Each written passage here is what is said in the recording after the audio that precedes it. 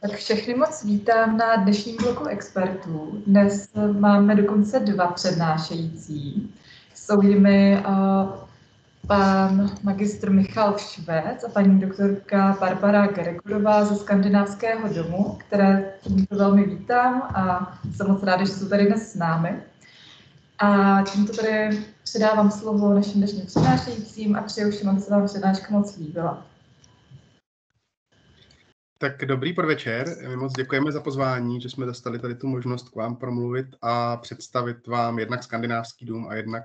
vám dát trošku nahlédnout do toho, jak funguje kulturní nezisková organizace. Já se jmenuji Michal Švec, jsem předseda Skandinávského domu, ale paradoxně tady ta funkce, ze které dneska eh, tady budu mluvit, tak mě neživí. Je to dobrovolná činnost a eh, takový můj spíš koníček. Eh, já jsem vystudoval finštinu na Filozofické fakultě Univerzity Karlovy a živím se hlavně jako literární překladatel turistický průvodce a lektor finštiny. A poprosil bych kolegyni Báru Gregorovou, jestli by se mohla taky představit.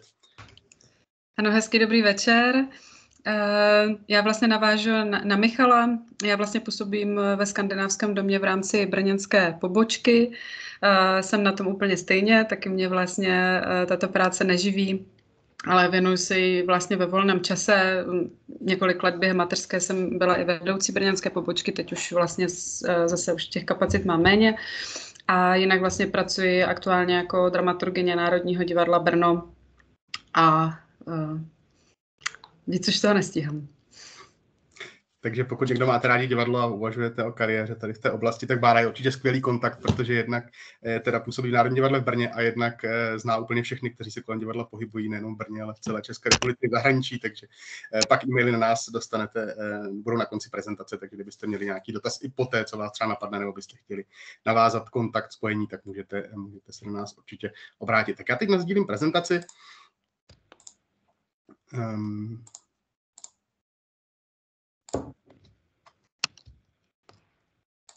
tak předpokládám, že teď, že teď všichni prezentaci vidíte. Eh, je to takový trochu nezvyk, protože já budu mluvit jenom do té prezentace, ale viděl jsem, že tam je docela dost, dost lidí, co na nás koukáte.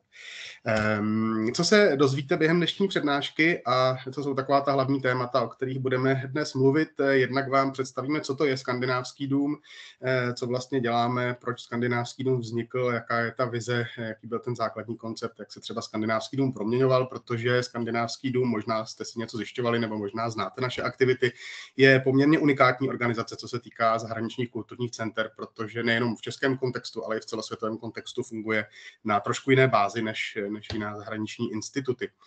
Eh, protože vy jste manažeři, tak eh, jsme se zkusili tu část té přednášky dnes zaměřit na to, jak vůbec funguje management neziskové kulturní organizace a to ne teda teoreticky, ale spíš na příkladech té naší praxe, co se nám osvědčilo, co jak děláme a třeba nějaké typy pro vás do budoucna, co, co se různě eh, dá v neziskové kulturní organizaci a jak dělat. Pak vám představíme trošku činnost skandinávského domu, nějaké projekty úspěšné z minulých let, nějakou naši dlouhodobou činnost a nakonec si popovídáme o tom, protože jste zároveň knihovníci, jakým způsobem, nebo nejdříve, nejdříve ještě o naší knihovně, protože Skandinávský dům jednou z jeho částí činnosti je i provoz specializované knihovny severských literatur a potom o spolupráci s knihovnami veřejnými, která je u nás docela hojná a obsáhlá. Eh, kdybyste, ještě, ještě se vrátím na ten slide, kdybyste měli jakýkoliv dotaz v průběhu, my jsme se rozhodli, že bychom vám dali asi příležitost vždycky po každém tom bloku, protože ta témata jsou přece jenom trošku odlišná, tak můžete, jak jste zvyklí, psát do chatu a potom můžeme mít takové malé diskuzní okénko, ale počítáme s tím, že na závěr bude určitě času na diskuzi víc. Eh, jinak budu mluvit hlavně já, Bára mě bude spíš doplňovat, jak jsme se domluvili. Ona zná spíš takové ty historky z Brna a z fungování organizace, když to já jsem spíš takový ten suchý manažer z Prahy, takže doufám, že to ale nebude nudné. Eh, co to teda je skandinávský dům? Ehm, předpokládám, že není ten název nebo ta organizace naše vám úplně neznámá, že možná jste slyšeli o skandinávském domě už jenom tím, že fungujeme i v Brně. Eh, když eh, se podíváte na jakoukoliv organizaci nebo i firmu na její webové stránky, tak eh, většinou byste měli najít, co je vize a co je poslání organizace, což je takový ten základní základní část strategického plánování, že si vlastně každá organizace a každá, každá firma stanovuje to, čeho by chtěla dosáhnout a jakým způsobem to dělá, ale to asi znáte možná z nějakých manažerských kurzů. Eh, tak naše vize skandinávského domu je taková eh, literárně mm, pojatá, přiblížit sever srdci Evropy, sever s velkým S, čím se tedy míní v tom českém kontextu severské země. Které to jsou, to si ještě řekneme, protože ta definice je taková trošku širší možná v našem pojetí, než, než byste čekali. No a srdce Evropy se nám líbí eh, jako takový hezký, hezký literární pojem, tak, tak proto jsme si tu vizi stanovili takhle jednoduše. A jakým způsobem to děláme? Eh, tak hlavně tím, že prezentujeme kulturu zemí Evropského severu eh, v České republice, rozvíjíme česko-severské kulturní vztahy a zprostředkáváme informace o severské kultuře, což je takové velice obecné to poslání a podíváme se na to, jakým způsobem konkrétně eh, toho dosahujeme. Ale ještě pár slov o historii skandinávského domu, jak vlastně vznikl, protože ta historie je taky docela unikátní. Eh, ten nápad založit skandinávský dům vznikl někdy krátce po roce 2000, kdy eh, v Praze fungovala a stále ještě funguje dánská incomingová cestovní kancelář jménem Kodan, která teda nemá s kulturou nic společného, jediné, co dělá, je, že vozí dánské turisty do, nejenom dánské, ale vůbec severské turisty do Čech a organizuje pro ně, pro ně zájezdy, ale sídlí v České republice, takže incomingová agentura. No a oni se rozhodli, že by chtěli trošku víc přiblížit sever i, i Čechům a zároveň také vytvořit takovou jakousi platformu pro skandinávce, kteří u nás žijí. Takže založili kavárnu Nordika v centru Prahy a založili také jazykovou školu, skandinávská jazyková škola a posléze e, tady toho takového jakoby klastru obchodně kulturního eh, vznikl také skandinávský dům jako kulturní instituce a to tak, že někdy kolem roku 2004-2005 eh, do, se přidalo tady, tady k té dánské cestovní agentuře několik studentů severských jazyků v České republice. A protože o severskou kulturu je u nás docela velký zájem, ale vlastně neexistovala předtím tady žádná instituce, která by se dlouhodobě věnovala propagaci severské kultury, tak se rozhodli, že eh, vlastně by ta instituce mohla vzniknout ne z hora, jak je někdy zvykem, no, většinou zvykem, že ji teda založí nějaké příslušné ministerstvo zahraničí nebo, nebo nějaké ministerstvo kultury, ale vlastně z dola, že, že ti lidé, kteří sami jsou konzumenti severské kultury a sami jsou experti v severské kultuře, tak si ji založí tak trošku pro sebe. No a tak vznikl Skandinávský dům oficiálně v roce 2005 jako nezisková organizace a od té doby funguje už tedy nějakých 16-17 let a e, postupem času se proměnil vyloženě na zahraniční kulturní institut, i když s jinou formou, než, než mají ty, ty klasické. K tomu se za chvilku dostaneme. E, co děláme tedy e, konkrétně, jakým způsobem zprostředkáváme kulturu a přibližujeme sever srdci Evropy, tak zejména tím, že pořádáme kulturní akce. Ta naše, ten náš záběr je poměrně široký, když v posledních letech se specializujeme hlavně na literaturu a film ale vedle toho máme i některé odborné přednášky, popularizační akce pro děti, nejrůznější networkingové akce a další. To už pak záleží na tom konkrétním roku, jak jsou ty naše aktivity zaměřené a ještě trošičku se liší činnost pražské centrály, řekněme, a brněnské pobočky, ale snažíme se i to hodně, hodně vyvážit. No a e,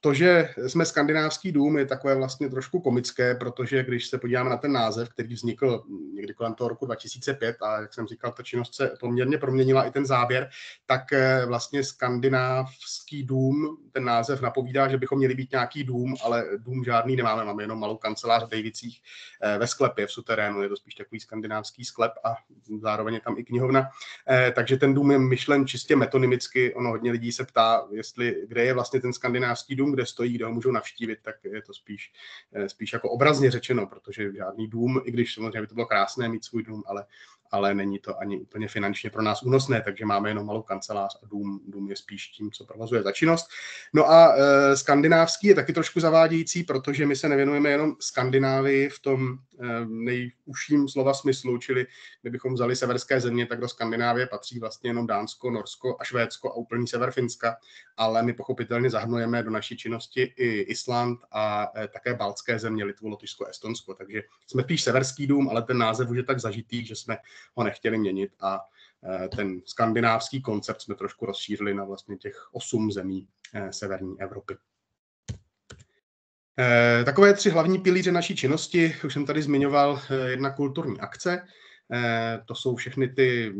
nejviditelnější asi to, co, to, co děláme, čili ty filmové promítání, setkání se spisovateli, různé festivaly, přednášky, besedy, debaty, akce pro děti a další.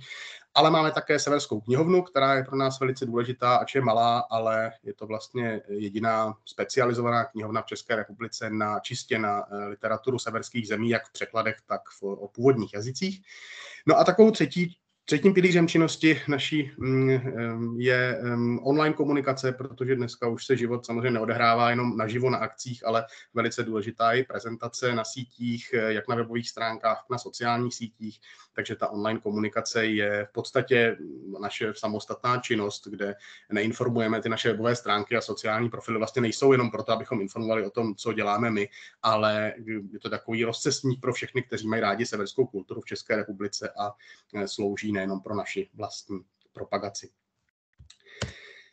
Eh, jaký to má všechno smysl? Proč to vlastně děláme, eh, když to děláme dobrovolně eh, víceméně a když to vzniklo, jak to vzniklo?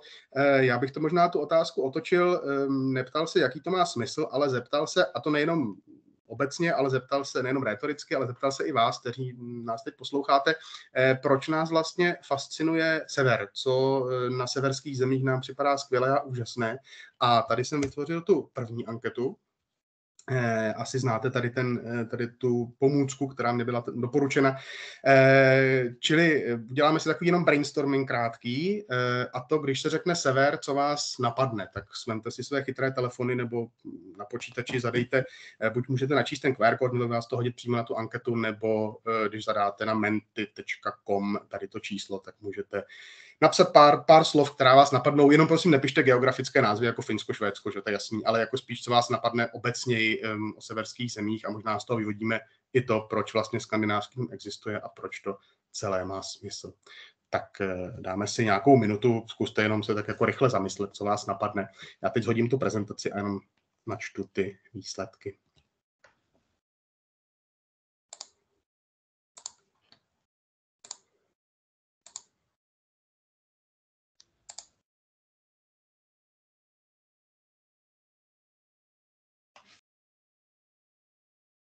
Jo, už nám tam něco skáče, tak vidím, že to funguje, to je skvělé.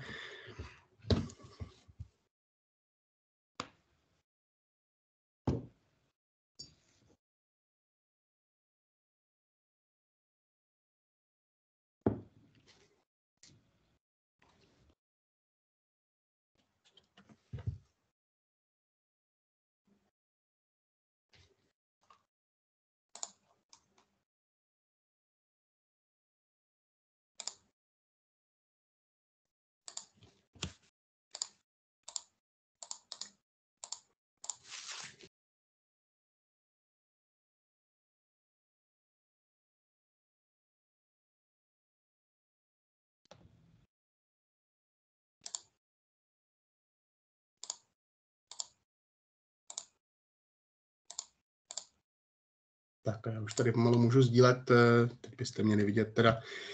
to, co nám tam naskákalo, co jste začali psát. Ono se nám to tady bude takhle krásně vizuálně přeskupovat.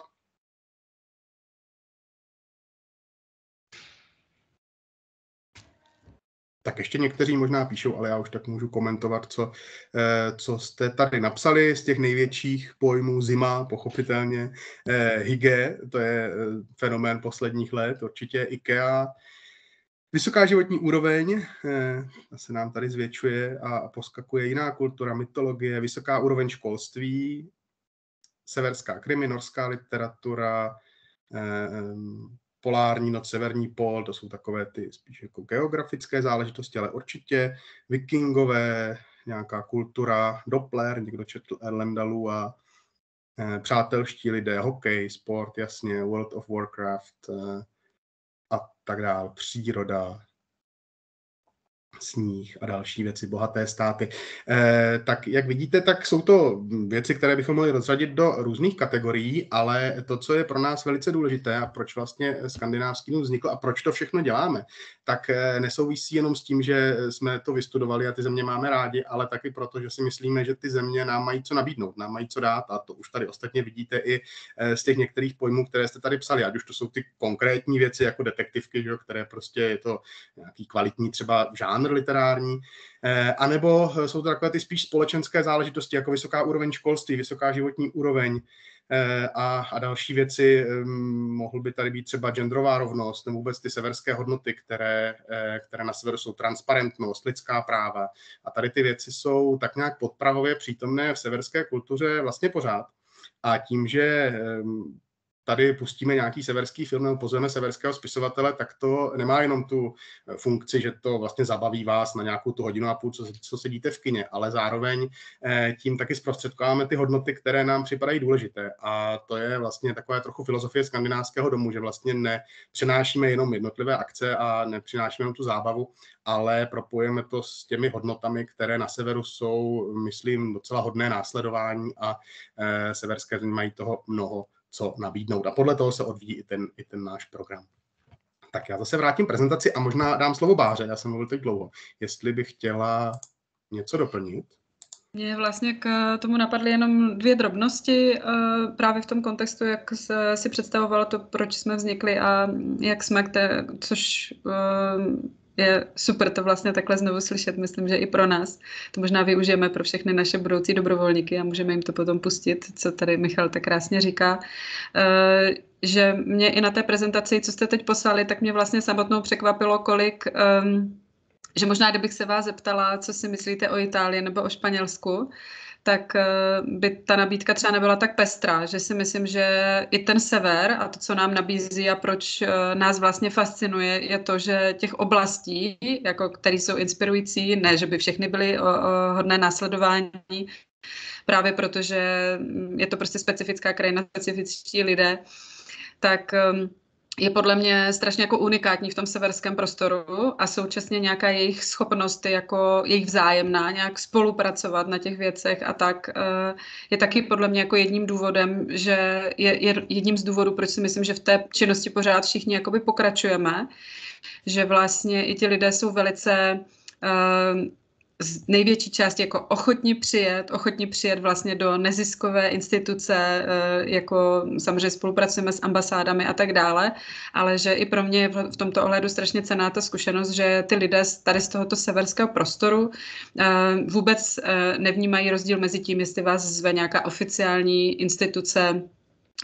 nebo prostě mm, nějak, nějací zástupci knižních veletrhů a tak dále, ale opravdu se nám podařilo, že i ty největší literární jako za mě hvězdy a tak dále, tak bez problémů prostě sednou do vlaku a z Prahy přijedou do Brna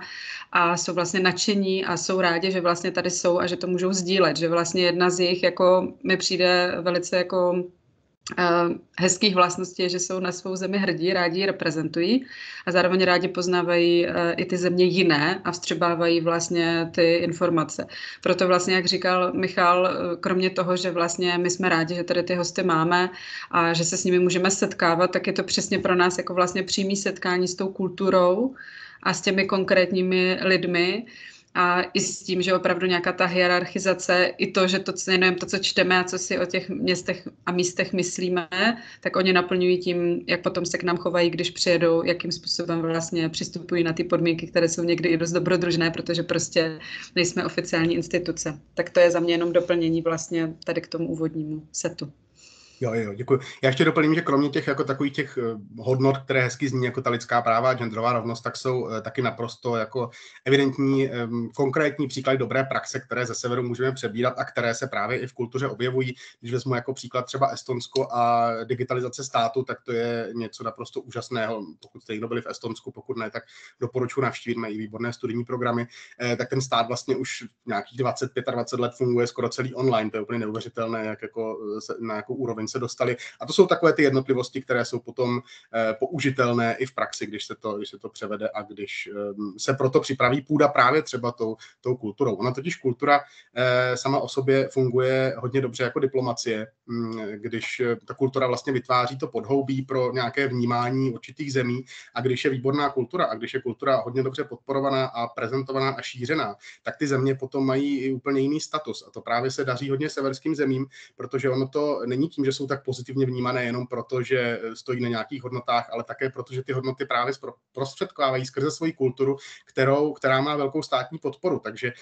na severu prostě ohromná podpora třeba překladu knih do jiných jazyků, proto třeba v češtině vychází enormní množství knih ze severských jazyků. Naopak to moc nefunguje. Když byste chtěli českou knihu na severu, tak ta podpora je jednak malá a eh, jednak prostě ani jsme si nevychovali nebo nepodpořili jsme to, aby se čeština studovala v cizích zemích moc, tak moc jako třeba ty severské jazyky, takže eh, ta situace je prostě jiná. A potom u nás mají i jednodušší hm,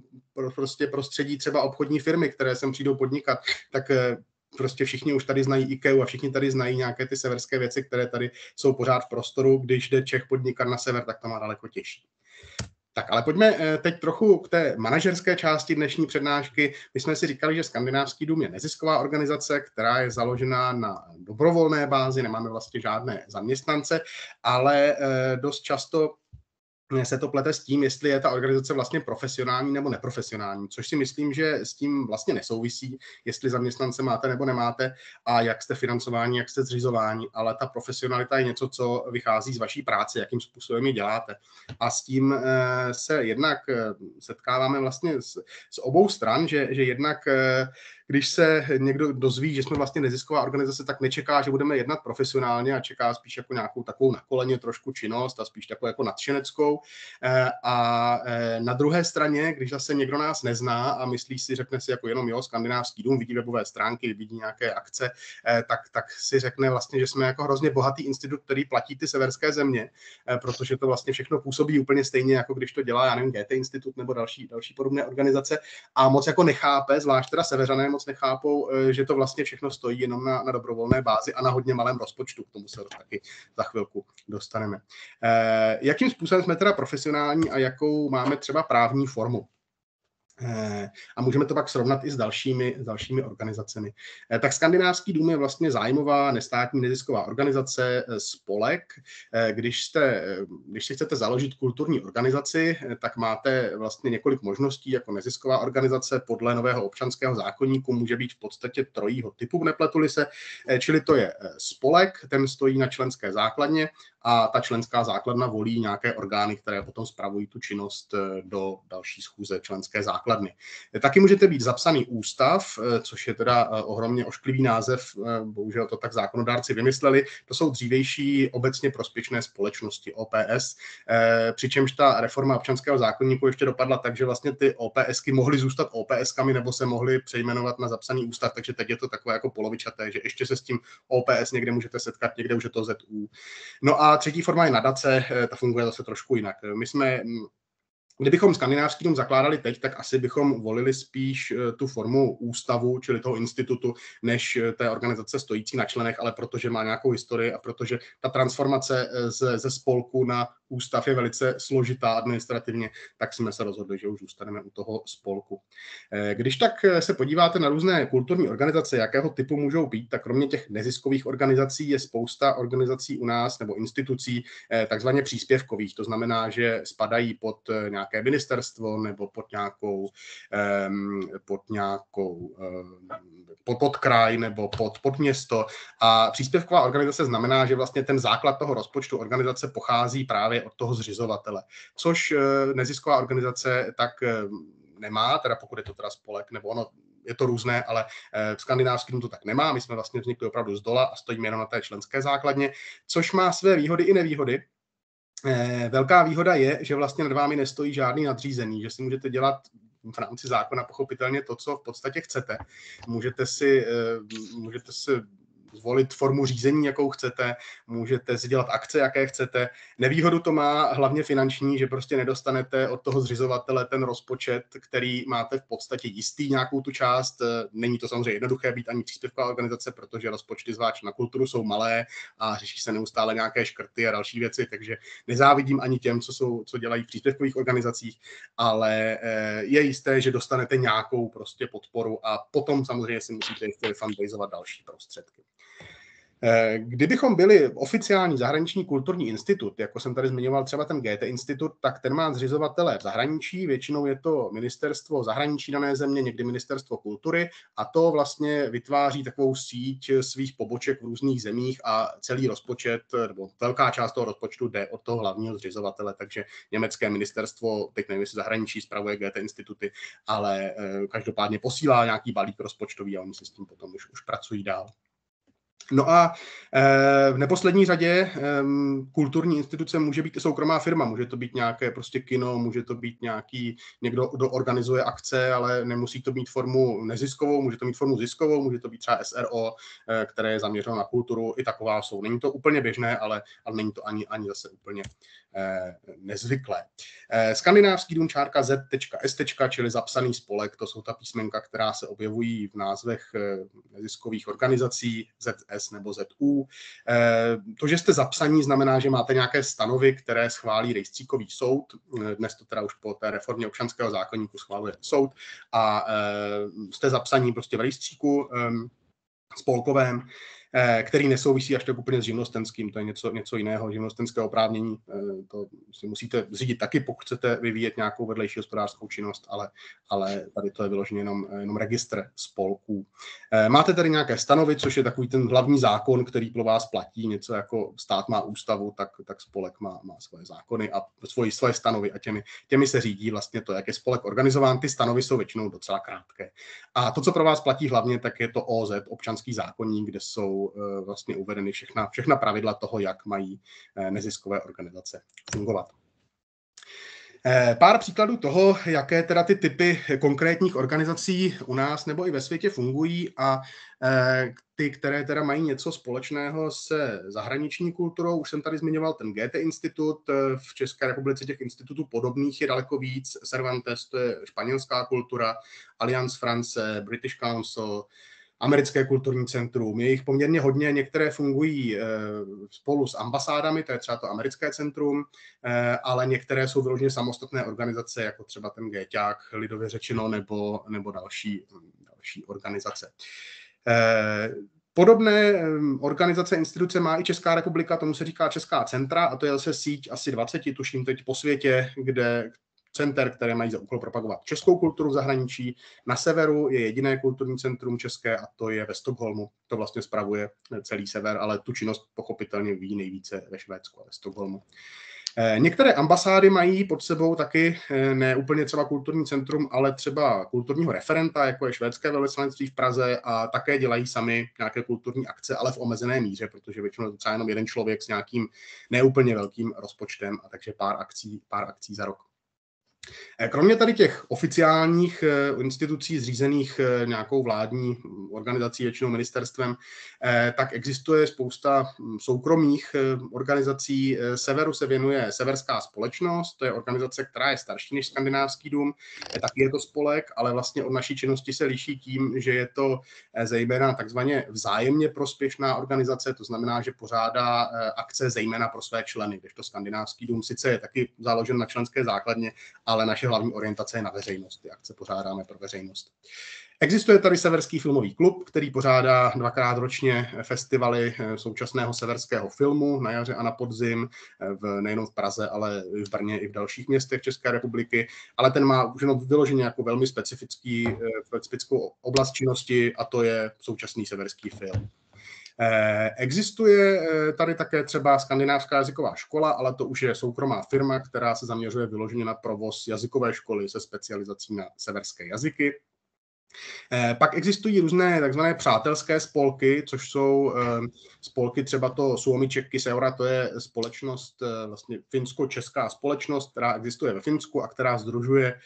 jednak Čechy, kteří ve Finsku žijí, a jednak Finy se zájmem o Česko, ale je to spíš taky taková klubová činnost, že organizují nějaká setkání i třeba pro děti těch lidí, kteří tam žijí a snaží se udržovat českou kulturu ve Finsku. Podobně třeba česko-estonský klub funguje tady v Čechách a skoro vlastně každá takhle dvojice zemí, pokud to není nějaká hodně malá země, tak má nějaký svůj klub, který funguje více či méně aktivně, to tak hodně záleží na těch jednotlivých členech, ale spíš se nedostávají ty akce moc na veřejnost, spíš je to taková komunitní záležitost.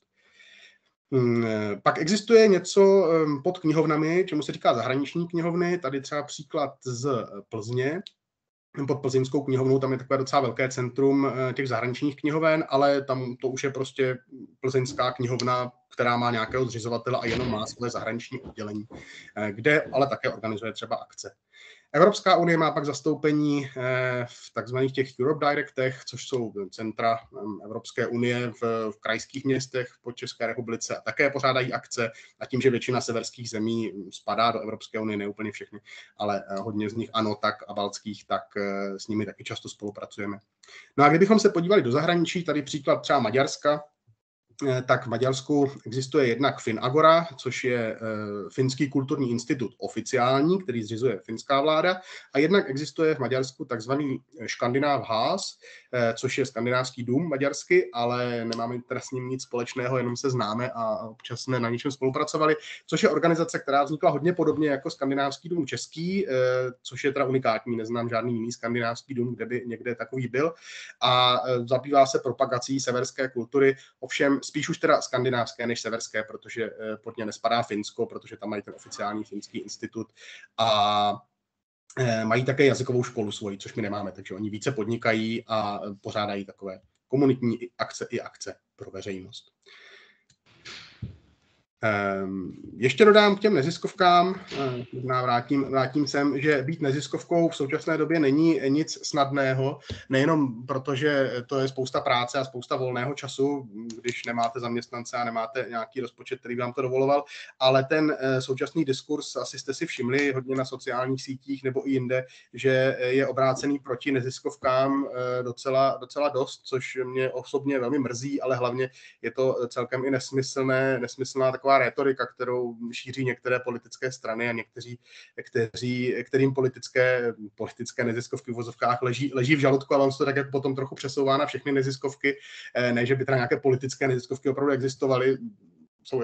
neziskovky jako Transparency International, která eh, politiku sleduje, a, a, ale ne, ne kvůli nějakým vlastním zájmům, ale kvůli nějakým hodnotám, což některým politickým stranám pochopitelně eh, vadí. Eh, ale potom, když jste vlastně neziskovka jako skandinávský dům, tak když se někdo dozví, že pracujete v neziskovce nebo pro neziskovku, tak už to má takovou trošku patinu v té současné diskuzi, což je ohromná škoda, protože eh, neziskové organizace, nejenom kulturní, ale hm, sociální a další, dělají ohromné množství práce za ohromně malé peníze a vlastně pomáhají státu zajišťovat to, co stát zajistit eh, nezvládá nebo neumí a dotuje. A, a tady ta retorika je velice nebezpečná, pokud bychom se vlastně obrali o, o neziskovou, neziskový sektor, tak, tak to s námi dopadne hodně špatně a je škoda, že to nejde spíš tím západním modelem, kde vlastně neziskové organizace jsou velice vážené na severu vůbec, ale, ale i vůbec v západní Evropě. Eh, tak teď trochu těch manažerských dat, eh, co se týká naší organizační struktury, abyste měli takový jako příklad, jak může kulturní neziskovka vypadat, eh, tak říkal jsem, že skandinávský dům je spolek, čili máme členskou základnu, členem skandinávského domu se vlastně může stát každý, kdo má zájem, kdo zaplatí v členský příspěvek, vyplní přihlášku a stane se členem. Těch členů máme necelých 300 Jedenkrát ročně se koná členská schůze, což je vlastně schůze, na které se volí orgány spolku, určitém intervalu podle stanov. Eh, ta schůze zvolí hm, takzvaný výkonný výbor, což je, eh, kdybychom to zase převedli jako na metaforu státu, tak členská základna jsou vlastně občané že, toho našeho neziskového státu. Eh, výbor to je ta vláda, kterou si, kterou si občané zvolí, takže to je výkonný výbor, který má tu výkonnou moc a vlastně řídí činnost organizace mezi schůzemi té, té členské schůze. Um, Náš výbor má zase určitý počet členů, to si můžete stanovit, jak chcete, když si zakládáte spolek a e, má nějakou určitou, určitou e, pravomoc podle toho, co si dáte do stanov a co stojí v občanském zákonníku. Ale to asi nebudu úplně rozebírat. E, na členské schůzi se volí také přímo předseda a místo předseda, e, což e,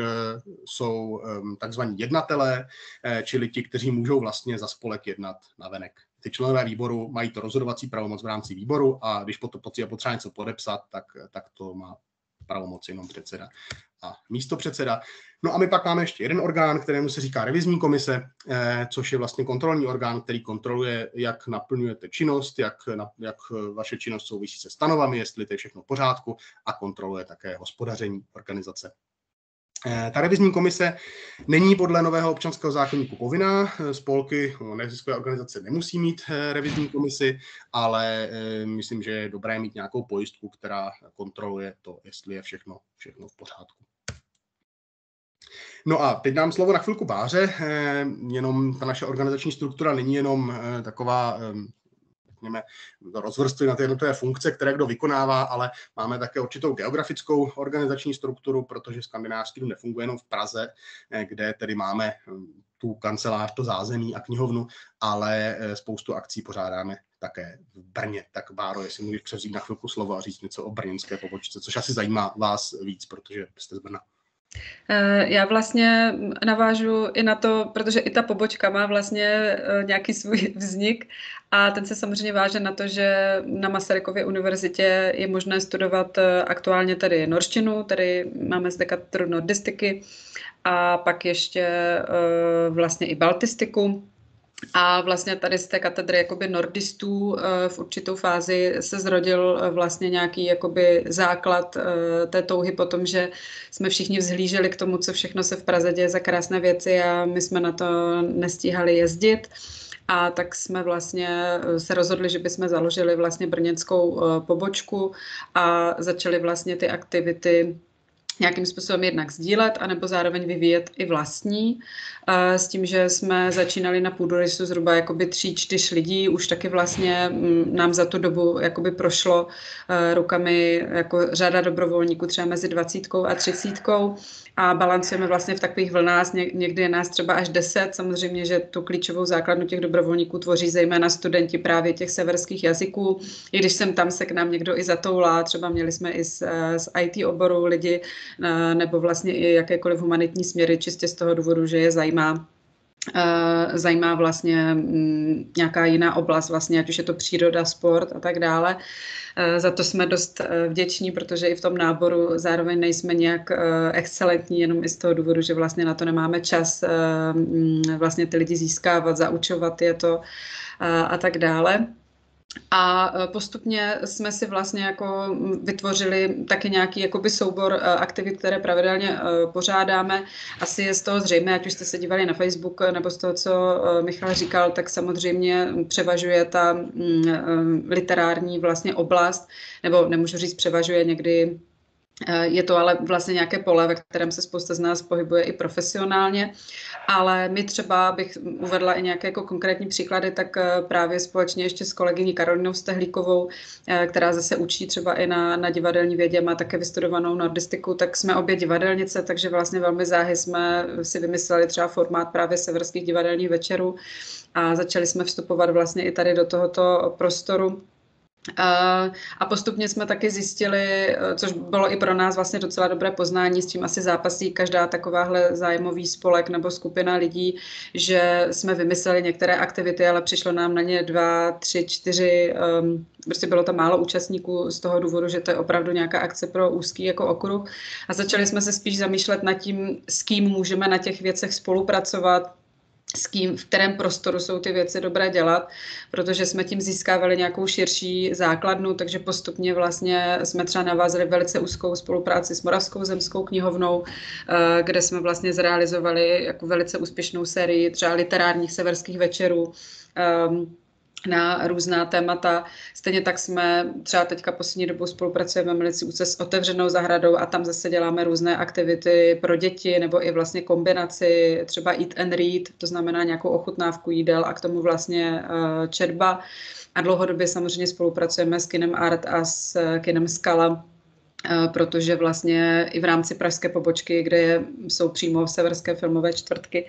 tak eh, máme velkou škálu vlastně filmů, které můžeme postupně vlastně uvádět, dělat k ním úvody a tak dále. Uh, takže se ta činnost vlastně ustálila na, uh, na těch nějakých základních aktivitách, které děláme uh, my sami. A potom máme vlastně dvě obrovské vlastně festivaly, o tom určitě bude ještě Michal mluvit, které vlastně vytváříme společně a tam vlastně můžeme i spojit ty síly směrem k tomu, že můžou přijíždět vlastně zahraniční autoři, zahraniční spisovatele a tak dále. A tady znovu říkám, že jsme byli velice překvapeni, že nás to jako dlouho nenapadlo, že jsme si vždycky říkali, oni přijedou jenom do Prahy, a vlastně se ukazuje, že, že toto opravdu funguje, že když už oni z toho severu přiletí, tak nemají problém eh, vlastně zavítat s námi do Brna. A samozřejmě teď v rámci covidu jsme nebo objevili ten online svět. My jsme v nějaký míře naštěstí díky tomu, jak e, na tom severu to běží, tady ta digitalizace a všechno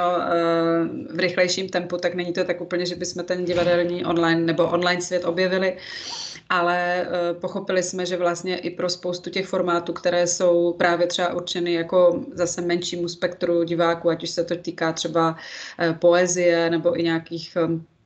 okrajových témat, tak eh, se ten online formát vlastně velice nabízí v tom duchu, že opravdu z celé republiky se ti lidé můžou připojit a byla to pro nás vlastně svým způsobem jako motivace i k tomu trošku proměnit ten program. I teď se mi stává na, na některých akcích, že se mi lidé ptají, proč vlastně, když už je teď máme naživo, jestli je nebudeme nahrávat, protože se třeba nedostali uh, na tu uh,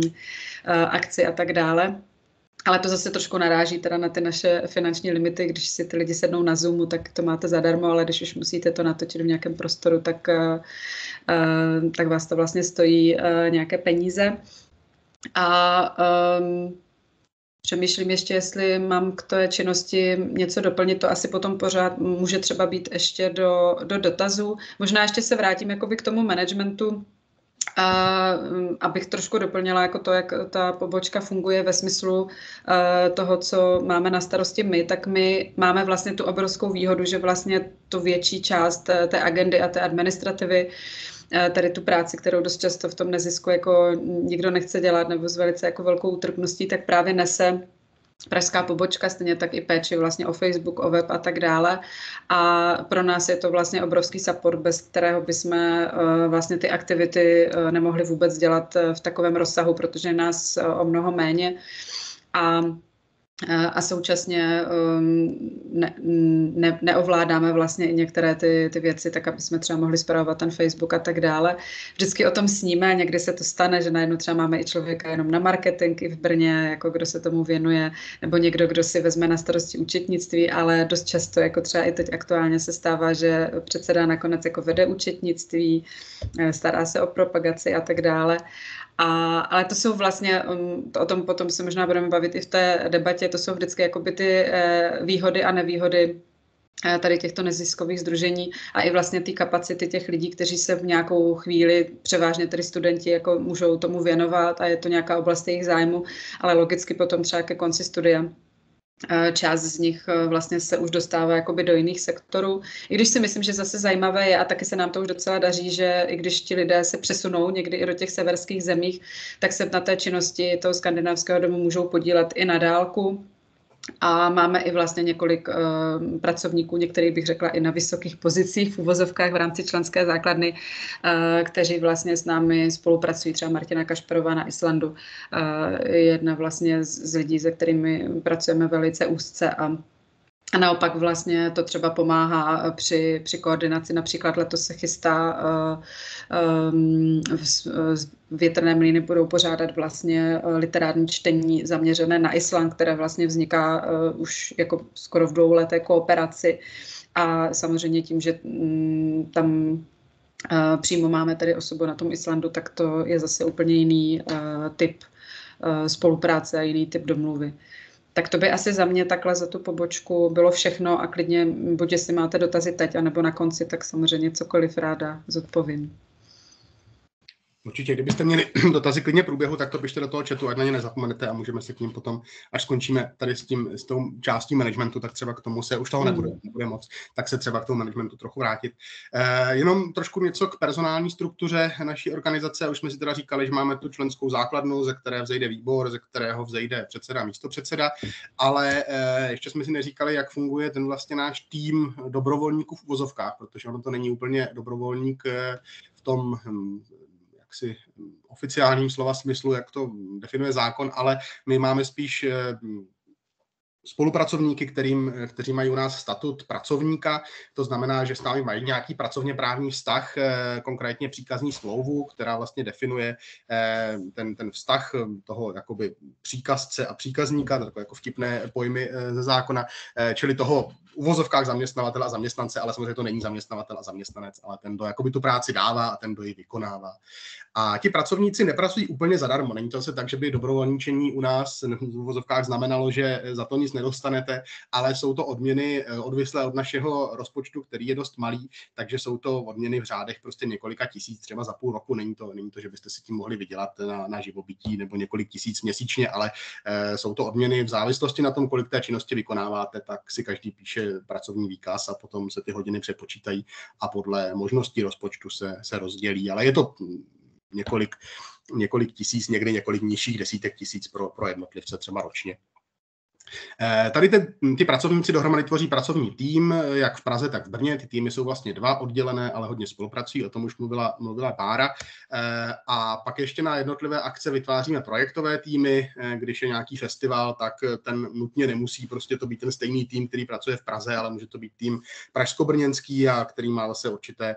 role rozdělené v tom týmu, kdo má na starosti propagaci festivalu, kdo má na starosti, já nevím, no, autory, kdo má na starosti tyhle akce, tyhle akce a tak dále. Takže že ty týmy vlastně vznikají celkem dynamicky podle toho, jak ta činnost se vyvíjí. A pak jsou i pracovní skupiny na různé takové jako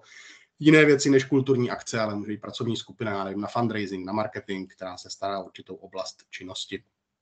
Plus samozřejmě velice důležití jsou pro nás externí spolupracovníci, jako je účetní, jako je webmaster eh, a eh, jako jsou spolupracovníci na konkrétních akcích, když potřebujeme tlumočníka ze švédštiny, tak ne vždycky to zajišťujeme úplně z vlastních zdrojů, ale najímáme si na to, najímáme si na to spolupracovníky a ty jsou teda všichni vždycky placení, protože eh, to je takový, taková naše filozofie, že kdo pro nás něco dělá a není v tom jako jádru toho týmu, který hm, ví, že ta činnost je víceméně dobrovolná a placená jenom trošku, tak, tak vlastně platíme všem, kteří se na těch akcích podílejí. A jak už tady Bára nakousla, tak vlastně to, co v neziskové organizaci jednotliví ti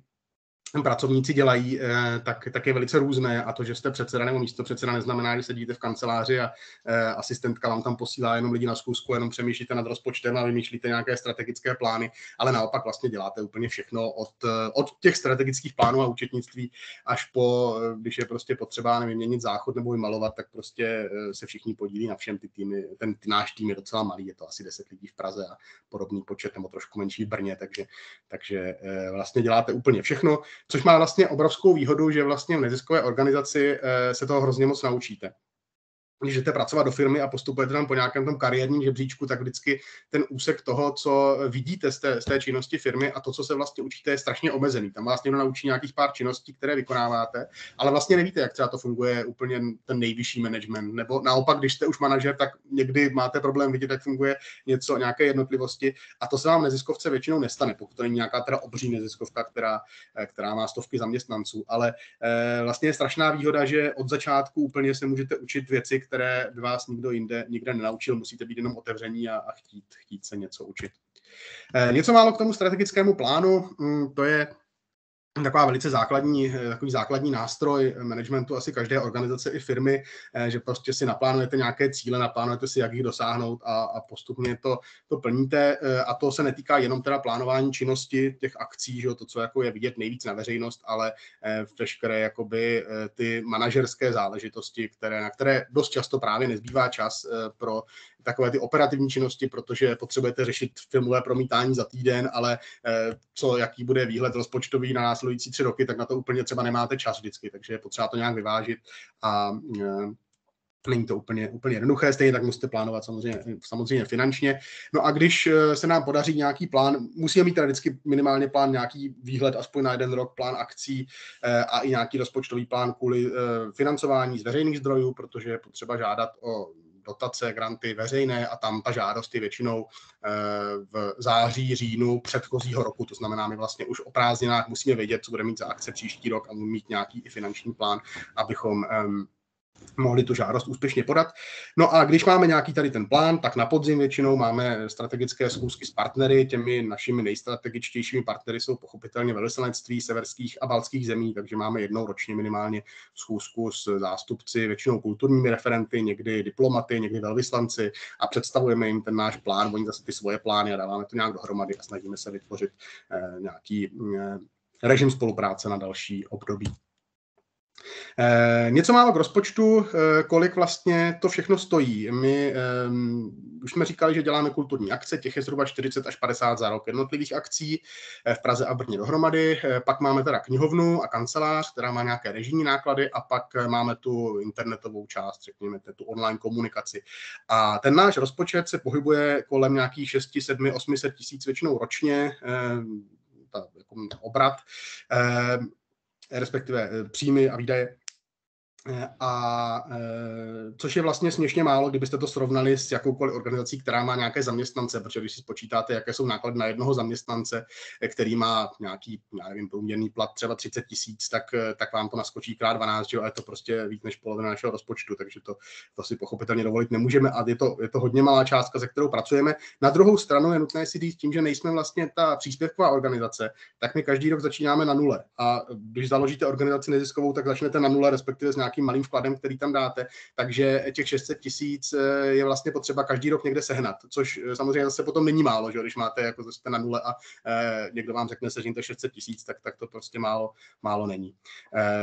Tady nebudu asi číst všechny položky, asi si dokážete tak jako představit, nebo můžete si to přečíst i sami, co, za co všechno utrácíme peníze. Jenom zajímavé je, že vlastně náklady na ty akce samotné, které jsou vidět nejvíc, tak je asi polovina rozpočtu, čtvrtina rozpočtu jsou režijní náklady, to znamená takové ty kancelář, pro pronájem kanceláře, telefony, eh, různé ty platby, že jo, pravidelné, které jsou na účetní a tak dále. A zhruba čtvrtinu eh, naší, naší činnosti, hm, těch výdajů, eh, jsou na naši vedlejší hospodářskou činnost, k čemuž se dostanu asi u toho, kdo to všechno platí, kde těch 600 tisíc vezmeme. A tam už je to zase, zase různé. Uh, už jsem říkal, že využíváme veřejné granty a dotace. Uh, ty české tvoří asi třetinu. Hlavně Ministerstvo kultury, Magistrát hlavní města Prahy a statutární město Brno. To jsou takový naši tři hlavní přispěvatelé, o kterých žádáme každý rok na, na naši činnost. A velice významnou položku pro nás tvoří i severské veřejné zdroje, to je asi pětina rozpočtu, uh, ale ty jsou, jak ty české, tak ty severské, jsou vlastně vázané na konkrétní projekty. Není to tak, že bychom mohli požádat, dejte nám tady půl milionu na to, že budeme dělat nějakou činnost, ale že musíme připravit konkrétní plán, jaké akce, kdy budou, kdo tam bude, jak to bude vypadat, kolik to všechno podrobně bude stát. Ty rozpočty grantové jsou velmi podrobné, vlastně rozpoložkované a e, pak nám dají třeba těch 80 tisíc nebo, nebo tak podobně. Takže není to úplně málo práce a není to až tak moc peněz, ale e, je to tak s veřejnými prostředky prostě, e, že samozřejmě musí být vynaloženy transparentně. No a e, zhruba 10% tvoří našich příjmů takové na, příjmy, jako jsou členské příspěvky, e, to je těch ty členové, kteří platí 100 korun ročně, někteří víc, když chtějí, a vstupné na akce. To vstupné na akce je poměrně nízká položka, protože ty naše akce nejsou nějaké obří koncerty, kde by e, vstupenka stála tisícovku, ale jsou to třeba literární čtení, kde je buď vstupné dobrovolné, nebo, nebo vstupné třeba 50 korun do kina, třeba 100 korun, 120, takže e, zase takový obrovský výtěžek nám to, nám to za rok udělá. Ale eh, co je pro nás významné, je právě ta vedlejší hospodářská činnost. Když máte neziskovou organizaci, můžete podnikat, eh, nesmíte ale podnikat eh, za účelem vlastně zisku jiného, než že ten zisk utratíte zase na činnost neziskové organizace. A to je víc než třetina našich příjmů, skoro polovina, když se podíváte. A to my podnikáme jednak v tom, že prodáváme knihy na akcích nebo v knihovně, většinou tedy těch autorů, kteří přijíždějí, ale třeba na světě knihy máme často stánek na veletrzích. A pak poskytujeme překlady a tlumočení ze severských jazyků. Ale ale jako naši vedlejší činnost. Eh, vedlejší do vedlejší činnosti spadá také reklama, eh, což je významný zdroj příjmu. Eh, není to totéž jako sponsoring, ono je to trošku, trošku v zákoně odlišeno, nebo teda trošku dost, ale v podstatě jsou to jako firmy, které si zaplatí reklamu tím, že třeba zveřejníme nějaký článek o nich, nebo rozešleme v newsletteru, že je něco někde, se hledá nějakou, nějaká pracovní pozice, většinou často to je, nebo, nebo něco podobného. Takže Eh, ten koláč, když se na něho podíváte, příjmový je hodně eh, rozčleněný, eh, což je naprostý základ činnosti jakékoliv neziskové organizace, je více zdrojové financování. Pokud byste byli závislí na jednom jediném grantu, který vám tvoří třeba 80 nebo 70 rozpočtu, většinou to musíte nějak dofinancovat z jiných zdrojů, tak vám samozřejmě hrozí to, že ten grant třeba nedostanete z nějakého důvodu, nebo bude nějaká chyba ve vyúčtování a zdrží se vám celá platba na další rok, takže to je hrozně nebezpečné a je potřeba u každé organizace v podstatě podstatě si to naplánovat tak, abyste měli i tu rezervu, kdyby náhodou něco nevyšlo, což jednou se nám třeba stalo, že město Praha nám nedalo grant, protože komise usoudila, že severské země jsou bohaté a že my peníze nepotřebujeme, tak prostě se rozhodli, že nám najednou 100 tisíc nedají. A pak to v tom rozpočtu chybělo, ale tím, že prostě to financování je postavené takhle, tak se nám podařilo ten rok přežít a uh, nějakým způsobem se ohradit a pak už teda si uvědomili, že je to fajn, že jsou severské země bohaté, ale to jsou vlastně všechny západní země a není to automaticky, že by měli dotovat e, všechny neziskové organizace, které se jimi u nás zabývají. Eh, no a eh, odbočíme od financí a dáme si eh, druhou anketu, pokud ještě jste, nejste úplně unavení, tak by vás to mohlo naopak možná trošku povzbudit. Kdybyste hm, Představte si, že jste teda v čele nějaké neziskové organizace a už jsme tady zmiňovali nějaké ty jakoby výzvy, které to přináší. Musíte zhánět finance, musíte se starat o o ty lidi, neustále zámět nějaké nové a zaškolovat je, musíte připravovat strategický plán a nesmíte eh, usnout na vavřínech těch starých nápadů, protože když budete dělat, eh, vymyslíte jeden projekt, který se jmenuje Severské filmové čtvrtky a děláte ho každý první čtvrtek měsíci a děláte to už 10 let, tak je to hrozně fajn, že je nějaká akce, která se opakuje, ale zároveň je potřeba vymyslet občas něco nového, protože eh, asi nebude chodit prostě 50 let za sebou lidi pořád na severské filmové čtvrtky a, a prostě je potřeba neustále vymýšlet nové nápady a ono vás to totiž ani tak nebude bavit, že? budete dělat prostě jenom nějakou zaběhlou činnost, kterou děláte dobrovolně na volném čase, ale eh, je to vlastně pořád dokola, tak, tak je to taky nuda, takže je potřeba přicházet i s něčím novým. Tak můžete zase načíst tady kód nebo, nebo se eh, přihlásit přes to Mentikom a zkuste eh, si tak jako typnout, když jste tak poslouchali tu naši prezentaci, eh, co nás tady z těch čtyř věcí trápí nejvíc. Jestli to jsou finance, jestli to jsou lidské zdroje, HR, jestli to je to dlouhodobější strategické plánování, anebo ten nedostatek nových nápadů, nebo respektive jako vůbec nové nápady. A já to tady mezi tím zase zhodím, jestli jste si všichni už doufám načetli tak můžu shodit sdílení a podívám se, co, eh, jak to vypadá, jak vypadá váš názor. Co nás trápí nejvíc, skandinávský dům.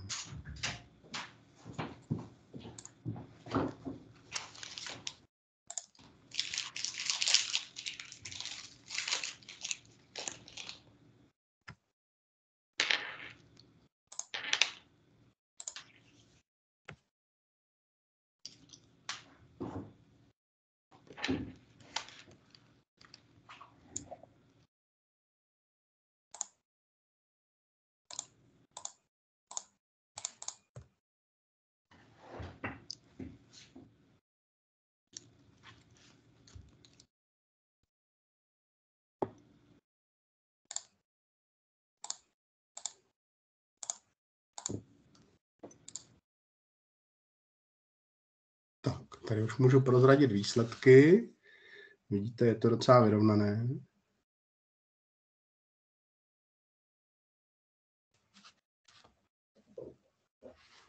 Ještě někdo se připojil k hlasování.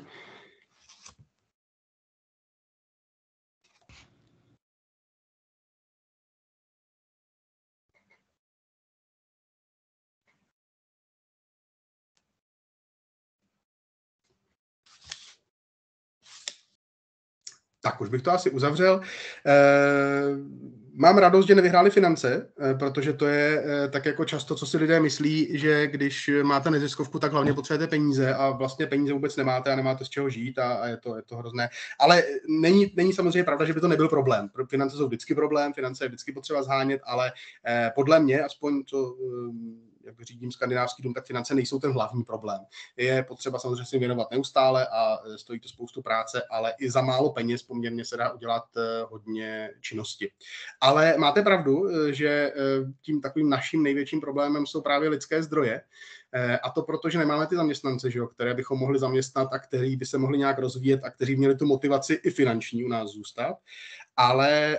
uh, ono vůbec je velice těžké sehnat uh, i dobrovolníky, kteří mají zájem zůstat nějak dlouhodobě a mají zájem se nějak rozvíjet. Ono není takový problém sehnat dobrovolníka, který třeba bude stát na akci a prodávat knihy, nebo prostě vítat tam nějaké tyhle, nebo doprovodí autora do hotelu, nebo takové nějaké jednorázové činnosti, ale uh, ono je pochopitelně potřeba mít i nějaký ten tým, který ví, zná i to jako zázemní organizace a umí iniciativně vytvářet nějakou vlastní činnost a to je velice těžké ty lidi si udržet. I protože máme hodně tým mladý, většinou jsou to studenti severských jazyků nebo čerství absolventi, kteří často se odstěhují na sever nebo si najdou nějakou práci a už nemají čas na dobrovolnou činnost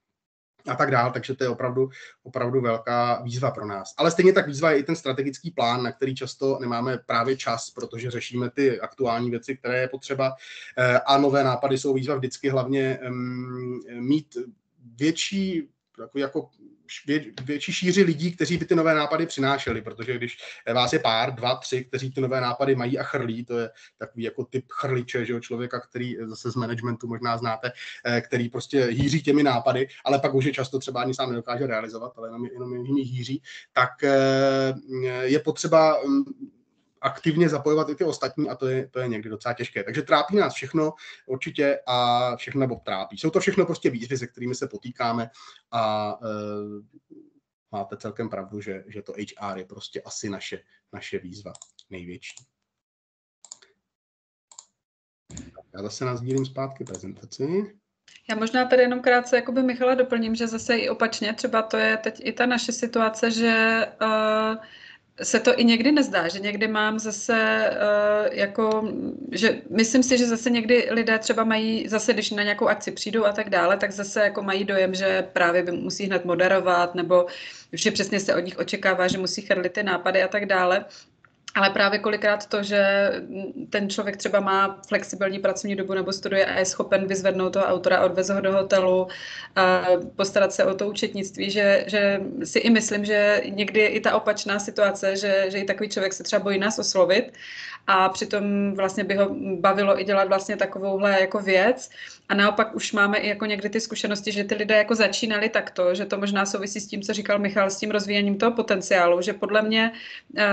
ta práce v, v tom nezisku nebo přímo v té naší organizaci jako umožňuje i to, že si jako jednak vyzkoušíte to, co určitě teda dělat už nikdy nechcete, protože vám to prostě nejde a nebo naopak jako zjistíte, že jste opravdu si mysleli, že nebudete schopni nikdy si předstoupnout před lidi a udělat ten film. A když se ta situace stane, že prostě najednou ten moderátor nedojde, vy jste byli u stolečku a nebylo možné to udělat, protože prostě měl havárku nebo něco, tak eh, člověk vystoupil z té komfortní zóny a udělal to a najednou zjistil, že to vlastně jako by možný je. Že si myslím, že tam je jako velká výhoda eh, jako obecně, nejenom u nás, ale tady v tom té práce, že ten člověk si může vyzkoušet vlastně různé typy žijeme i v různých stereotypech, takže nebo nás rodina nebo okolí jako dost často přesvědčí o tom, že třeba na některé věci jakoby buď máme nebo nemáme. A ten uh, nezisk, nebo aspoň tak, jak to vnímám já u nás té organizaci, vlastně opravdu jako umožňuje to, že ten člověk může jako pro mě v relativně bezpečném prostředí jako vystupovat z těch komfortních zón, a nebo si i naopak jako říct, že Uh, že tak jsem si hrozně myslel, že mě ten marketing bude jako by strašně bavit, ale vlastně jako zjišťuju, že, že bych jenom chtěl psát nějaký články, ale vlastně nemám rád sociální sítě, nebo jo, že vlastně to umožňuje i tyhle ty věci a tady vás to nic nestojí, když už potom nastoupíte někdo do zaměstnání a tam to po půl roce zjistíte, tak uh, je to někdy větší problém potom tu změnu, uh, změnu udělat. Takže mm, jako úplně souzním s tím, že to HR nás jako obecně mm, jako tíží, ale že zároveň i my se pořád nějak snažíme jako se těm lidem vysvětlit, že jakákoliv vlastně spolupráce spíš hlavně ta vytrvalost, to, že ten člověk nějak pochopí, že to, že v nějakou chvíli prostě byste třeba taky chtěl ten víkend mít jinak nebo tak, ale když už ten plán je, když už to v tom plánu je, tak nakonec se musí najít někdo, kdo to zrealizuje, protože přesně jak říkal Michal, to nesouvisí potom už s nějakou neprofesionalitou, vy se nemůžete rozhodnout, tak všichni jsme chtěli tady jet na dovolenou a, a ta, nikdo tu akci nebude dělat, taky zrušíme.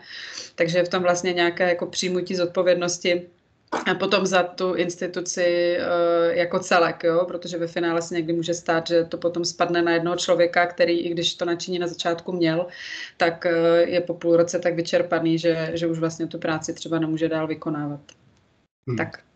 Jo, děkuji za doplnění a ještě bych já doplnil k tomu eh, zase z manažerských pouček, že vůbec nejlepší pro rozvoj organizace eh, není to, když je bohatá a má, má spoustu mm, zaměstnanců nebo, nebo spoustu spolupracovníků a spoustu nápadů, ale nejlepší pro rozvoj organizace je krize. Jakmile nastane jakákoliv krize a vy jste nucení řešit, tak najednou přicházejí ty nové nápady a nová řešení. Eh, takže vlastně i v uvozovkách díky třeba covidu se nám podařilo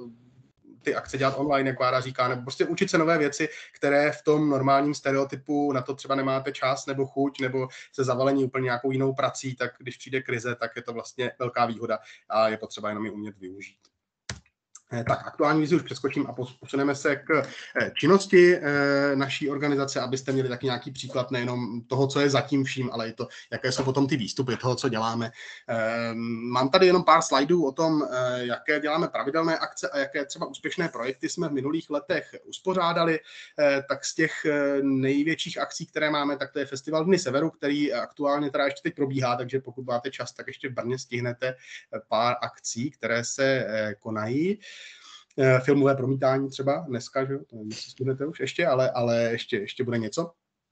Eh, Day Severu je festival severské kultury, který vznikl před 12 lety jako multižánrový festival. Je to sever vlastně festival hlavně literatury a filmu, to znamená přijede vždycky pár spisovatelů, promítáme severské filmy, ne úplně takové ty distribuční, které jsou všude jinde, ale spíše snažíme vybírat něco, buď dokumenty nebo, nebo filmy, které v distribuci nebyly a jsou třeba nějak umělecky kvalitní. Eh, každý ten festival má každý rok nějaké téma. Eh, letošní má téma fakta, fikce. Měli jsme festival na téma migrace, měli jsme festival na téma humor, na téma, prostě snažíme se vždycky vybrat nějaké aktuální téma, které rezonuje třeba společností. Eh, Severské filmové čtvrtky, o tom už jsem mluvil, to je eh, teda eh, akce, která probíhá v Praze. Každý první čtvrtek měsíci v komunitě Eval dáváme nějaký nedistribuční severský film. Měli jsme také několik festivalů zaměřených na jednotlivé literatury severské. Ten poslední byl týdny finské literatury letos v září a teď jsme ty země už vyčerpali, teda ty, které, které jsme chtěli, ty čtyři. Island bude příští rok měsíc autorského čtení, takže to nebudeme dublovat a přemýšlíme, co dál. To byl takový nápad, který vzešel, že uděláme tady ty tematické týdny a teď už tedy nám došel tenhle ten nápad, takže eh, jsme, řekněme, v krizi a musíme vymyslet něco dalšího. Eh, Severský literární salon, to je něco, co zase z krize vzešlo naopak. On teda v Brně se Severský literární salon dělal eh, už dlouho, ale jednou za půl roku bylo to takové jako povídání o nových knihách, co vyšly v překladech, někdy i s nějakým autorem nebo překladatelem, ale pandemie nás donutila přejít do online módu, takže jsme začali vlastně každý měsíc jednou s překladatelem nějakým dělat severský literární literární salon, eh, taková 30-minutová krátká debata o jedné konkrétní knize, která vyšla v posledních měsících. Letos ještě bude Severský literární salon o eh, fajerských pověstech a pohádkách, které vyšly teď na nakladatelství Argo. A výhoda těch online akcí pochopitelně je nejenom, že se to dostane k lidem, kteří třeba nejsou v Praze nebo v Brně, ale že si je můžete pustit i ze záznamu. Takže není to sice nějaké extrémně profesionální, je to prostě přes Zoom jenom debata vlastně z našich obýváků, ale i tak si myslím, že dá se to pustit samozřejmě jenom do uší jako podcast, nemusíte eh, se dívat, protože vizuálně to asi tak zajímavé není koukat na moderátora a překladatele, ale ale ta, ta zvuková stránka myslím, že má svoji, svoji hodnotu. Eh, z minulosti projekty, které jsme dělali, těch akcí byly už stovky, když vezmete nějakých 50-60 akcí za rok nebo 40-50, záleží na roku, tak eh, za těch 15-16 eh, let činnosti skandinávského domu prostě těch akcí už byly stovky. Jednotlivé akce, ale i větší akce, často jsou to byly různé tematické festivaly zaměřené třeba na severské osobnosti, týden Hanse Christiana Andersena, Edvarda Muinka, Valtaryho týden a další. Měsíc Kalevaly jsme měli o finském národním eposu, festival baltské literatury a filmu, festival o vikingzích, jsou to takové jako, ono totiž eh, ty festivaly mají nejenom ten nebo hlavní důvod, proč pořádáme festivaly, je, že se dají daleko lépe propagovat, než když máte jedno nějaké promítání nebo jeden nějaký, jednu nějakou přednášku. To je na propagaci poměrně náročné, když, když máte festival, tak se do médií dostanete daleko snadněji než, než nějakou jednou akcí. Takže i proto jsme ty akce spojovali do nějakých festivalů a zároveň to má nějaký dramaturgický záměr, že to prostě není 20 náhodných akcí nebo 40 za rok, ale prostě eh, jsou združeny do nějakých celků. Naším zatím největším projektem byl eh, Read Nordic, což byla kampaň kampaň, eh, kterou jsme koordinovali pro severská velvyslanectví v Praze eh, a která probíhala v letech 2015 a 16 celoroční, zaměřená na propagaci severské literatury a vyvrcholila na světě knihy 2016, kde byly severské země čestným hostem. Tady mám vlastně pár fotek z toho. Možná jste někdo byli, nebo jste zachytili aspoň to Read Nordic, ono to pořád žije, ten hashtag Read Nordic eh, na sociálních sítích zejména, kde na Facebooku, Twitteru, Instagramu má své účty a podílí se dál na propagaci severské literatury a to právě spravuje Skandinávský dům. A to byla i pro nás hodně velká novinka, protože to byl projekt s daleko větším rozpočtem, než s čím pracujeme my, to bylo asi 2,5 milionu nebo 3 miliony korun českých. Projekt financovaný asi z 15 různých zdrojů ve čtyřech nebo pěti různých měnách, prostě bylo to dost účetně složité, ale Mělo to samozřejmě obrovský ohlas, nejenom ta celá roční kampaň, ale i na světě knihy, protože tam tady v té ústřední hale na světě knihy jste asi předpokládám byli, víte, jak to tam vypadá, tak tam stál tady ten designový stánek, který pro nás navrhli eh, dvě studentky z ČVUT, z Fakulty designu a architektury. A vlastně přinesl úplně nový koncept i, i do, do, na, na celý svět knihy, který do té doby probíhal spíš na těch prefabrikovaných stáncích, tak jsme to úplně prostě pojali seversky, že otevřeli ten stánek, aby to nebyly takové ty uzavřené, kam se skoro ani nedá jít a e, vyrobili ho z udržitelných materiálů, on je vlastně celý z papíru vyrobený, to možná není vidět na té fotce, ale jsou to kartonové krabice, e, má jenom nějaký jako základ ze dřeva a ten dřevěný základ potom na druhé straně byl ještě pult, což byla IKEA kuchyně, takový ten kuchyňský pult prostě, na které jsme prodávali knihy a celý ten stánek se potom recykloval, ty papírové věci samozřejmě se vyhodily většinou, ale do papíru, ale e, zároveň ta kuchyně třeba potom posloužila v nějakém sociálním zařízení, kde prostě vyvozili novou kuchyň a ten dětský koutek se dostal do nějakého dětského domova, takže vlastně celé se to úplně zrecyklovalo. A, a e, tím se nám podařilo, myslím, jako hezky i ten severský koncept, nejenom toho, že propagujeme literaturu, ale zároveň i, i ty hodnoty a to, v čem ta literatura je propagovaná. Takže to byl jeden, jeden z těch úspěšných projektů. A pak teda mám ještě pár bodů o tom, e, jak se chystá kulturní akce jenom takový jako typů, co se třeba nám osvědčilo, nebo jak vlastně ten proces celý probíhá. Eh, protože to je něco, co možná zase někteří z vás víte, kdo se angažujete v knihovnách a v různých organizacích, které kulturní akce pořádají, ale možná je to něco, co třeba znáte jenom jako návštěvníci, že přijdete na film, tam se na ten film podíváte, ale ono je docela těžké si uvědomit, co vlastně všechno zatím stojí. Eh, tady jenom pár kroků, odklikám, jak, jak ta akce vlastně, co všechno zatím stojí, než se dostanete k tomu předposledním bodu průběh akce musíte tu akci naplánovat v nějaké koncepci, to znamená třeba rok předem, naplánujete ten rok, naplánujete ty festivaly, do toho zařadíte tu akci, eh, zároveň mít nějakou vizi, aby to nebylo jenom uděláme teda čtení, protože nevím, se nám ten autor líbí, ale aby to bylo nějaké téma, které je nosné, které prostě zapadá do nějakého toho celé vašeho programu, protože ono pak, když si žádáváte ty žádosti o grant, tak to posuzují grantové komise a ty neposuzují jednotlivé akce, ale právě posuzují to, jestli tam nějakou tu koncepci máte nebo ne, jestli to dává vůbec jako smysl ta vaše činnost, nebo jestli to je nějaká nahodilá, prostě, že se tady setkáme na něčím, co vlastně dohromady nedává žádný, žádný celek. Eh, když máte nějakou tu koncepci, tak vymýšlíte ty jednotlivé akce, musíte jim sehnat financování, eh, jak tedy eh, to celoroční většinou, tak i konkrétní, třeba na nějakou akci se shání pro autory, když přiletí autoři, tak můžete podat grant na cestovní, stipendium a tak dále. Eh, připravit nejrůznější podklady, smlouvy pro účinkující, všechno možné, co bude prostě potřeba. Pak tu akci nějak organizačně a personálně zajistit, to znamená, někdo musí sehnat ty jednotlivé lidi, kteří tam budou účinkovat, musíte eh, sehnat nějaké prostory, nějakou techniku, prostě všechno, protože my nemáme teda bylo by to jednodušší, kdybychom byli institut, který má samozřejmě svoje prostory, svůj dům, svoje kino, jako Maďarské kulturní centrum, že to má krásné kino na Můstku, ale to prostě nemáme, takže musíme spolupracovat s dalšími partnery. Eh, pak, eh, když ta akce už se blíží, tak začnou různé krizové situace, eh, že prostě něco se mění, někdo nepřiletí, něco prostě potřeba předělat, něco se pokazilo, někdo nemá očkování, že jo, teďka, když mám, má moderovat zjistíte před akcí, což se nám teď stalo nedávno, že prostě moderátorka nebude se očkovat, no tak musíte hned se na někoho jiného. No a takhle to prostě všechno probíhá, než proběhne ta samotná akce, která trvá třeba 60-70 minut, pak skončí a pak tím ještě ta akce vůbec nekončí, ale pak musíte ji zevaluovat, zhodnotit, eh, co se povedlo, co se nepovedlo, proč to tak bylo, eh, poučit se do příště reportovat o té akci pro zejména ty sponzory, že ty, ty eh, veřejné instituce, které vám dali ty granty, tak to se dělá dohromady, ne každou akci zvlášť, ale na konci toho roku vytvoříte nějaký teda report, tak finanční, tak nějaký ten narrativní. Eh,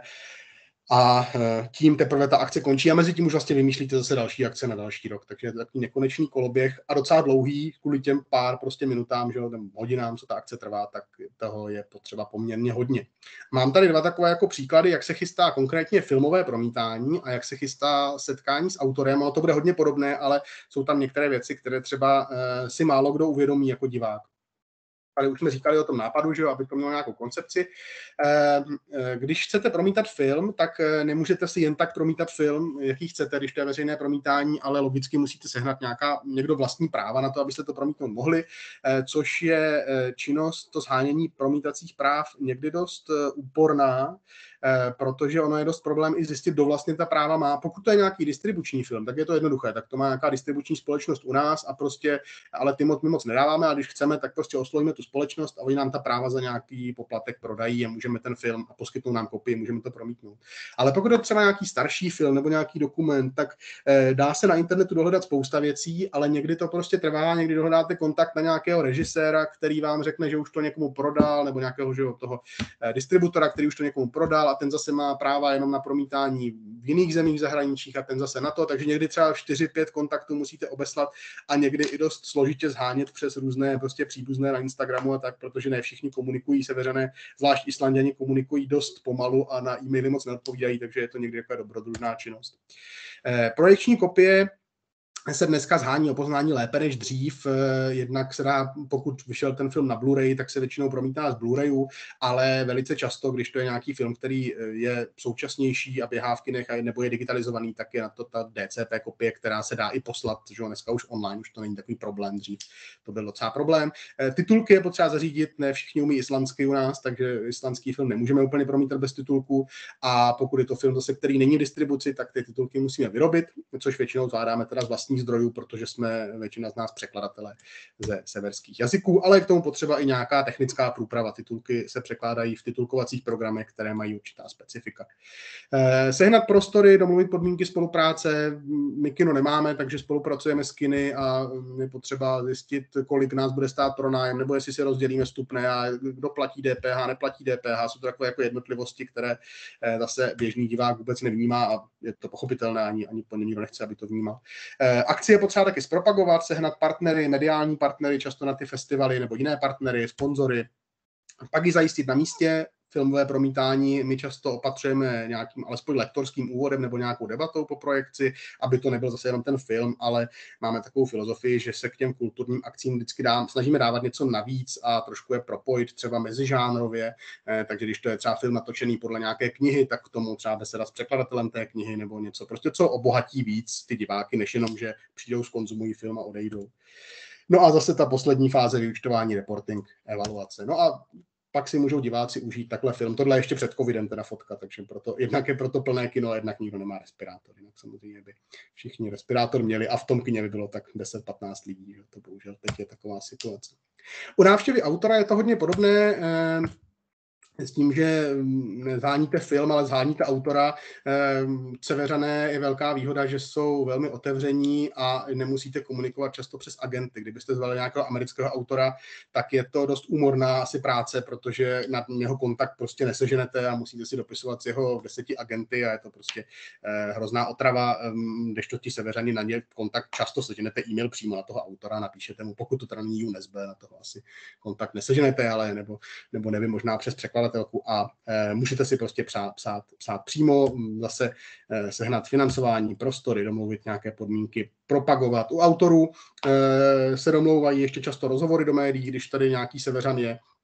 tak je dobré tu návštěvu využít co nejvíc, aby to nebylo jenom, že prostě přijede, odjede a mezi tím 60 minut někde mluví, ale, ale aby se dostal i do českých médií, což se docela daří. Eh, sehnat všechny možné účinkující. U, u filmu je to třeba jenom jeden člověk, který má nějaký úvod, ale u těch autorů potřebujete tlumočení, potřebujete někdo bude moderovat tu debatu, eh, někdo bude číst ukázky nějakého fotografa a další, takže kolem té samotné akce se třeba nějakých 5-6 lidí motá, eh, zajistit na místě a zase vyučtování, reporting, evaluace. Tady jenom příklad, jak třeba vypadá eh, program, když nám přijel teď litevský autor Alvídas Flepikas, tak to je jeden, jeden z jeho dní. Eh, ten program se neustále mění, že to přepisujete, jak se to prostě dynamicky, dynamicky probíhá. Tady zrovna ve čtvrtek před minulý týden jel z Prahy do Brna, pak měl několik interview. Eh, bylo potřeba zajistit, kdo ho kam dovede, kdo ho kde vyzvedne je to takové docela, docela náročné, ale, ale už to máme praxi přece jenom, tak, tak nám to šlo. A možná jste viděli i Brně, Brně akci, nebo pokud jste neviděli, tak ta z Doxu by měla být uh, někdy dostupná online, tam se to nahrávalo, nestreamovalo, ale bude z toho bude z toho záznam. Takže takhle potom může vypadat uh, ta práce zatím, že divák zase vidí to, co je na té fotce napravo dole, případně teda vidí ještě plagátek, ale, ale zatím je spoustu, spoustu další práce. Um, no, k online komunikaci jenom velice málo bych zase nechal nějaký čas na debatu, eh, tak já už to asi nějak jako zhrnu, ten, ten zbytek těch slajdů, co tady máme. Ehm, skandinávský dům propagujeme na Facebooku, Twitteru, Instagramu eh, a webových stránkách, to jsou naše hlavní teda kanály, plus máme elektronický newsletter e-mailový, pokud vás zajímá severská kultura, můžete se přihlásit k odběratelům. Eh, tady vidíte ta čísla, která, ale to najdete i v naší tiskové, teda tiskové výroční zprávě, tam ty všechny statistiky jsou, takže pokud vás to zajímá, tak, tak se můžete podívat. Kromě skandinávského skandinávského domu, už jsem mluvil, jo, na YouTube ještě máme teď ten kanál, tam jsou všechny záznamy zase těch online pořadů. E, a taky, taky provozujeme ty sítě Read Nordic, kde propagujeme severskou literaturu. Eh, tady mám pro vás ještě jednu anketu, abychom zase trochu, si, abyste si odpočali od mého výkladu. Uh, a to, když jsme se bavili o PR a o nějakých těch komunikačních kanálech, jak akce propagujeme a jaké teda kanály máme, tak mě by možná zajímalo, protože to je takový jako soustavný vlastně PR je soustavné zjišťování o tom, jaké jsou trendy. Dřív, před 15 lety, jsme měli tištěné programy na letáčku, no možná ještě před 10 lety, což dneska už se vám každý vysměje, že jo? protože nějaké letáčky a plagáty už jsou celkem jako k ničemu. E, a je potřeba to neustále sledovat a já teda PR moc nerozumím, máme na to kolegyni a, a několik kolegyní, které se PR věnují a propagaci, ale je potřeba prostě každý rok vlastně to přehodnocovat, jestli ty kanály, které používáme, jsou ještě ty, které e, používají taky ty lidi, kteří chceme, aby se na ty akce dostali, nebo si přečetli ten článek, který je na webu. Tak tady nám pro vás, mě by zajímalo, e, od odkud vy se nejčastěji dozvídáte o kulturních akcích. Když se zase rozkliknete buď QR kód nebo eh, zadáte ten kód do menti.com, tak tam máte několik možností těch, co mě napadly, těch nej, nej asi možná toho bude víc, ale a zkusíme se zamyslet nad tím, jestli my ty kanály používáme, nebo třeba k vám se ty informace nedostávají, protože eh, hledáte akce někde jinde.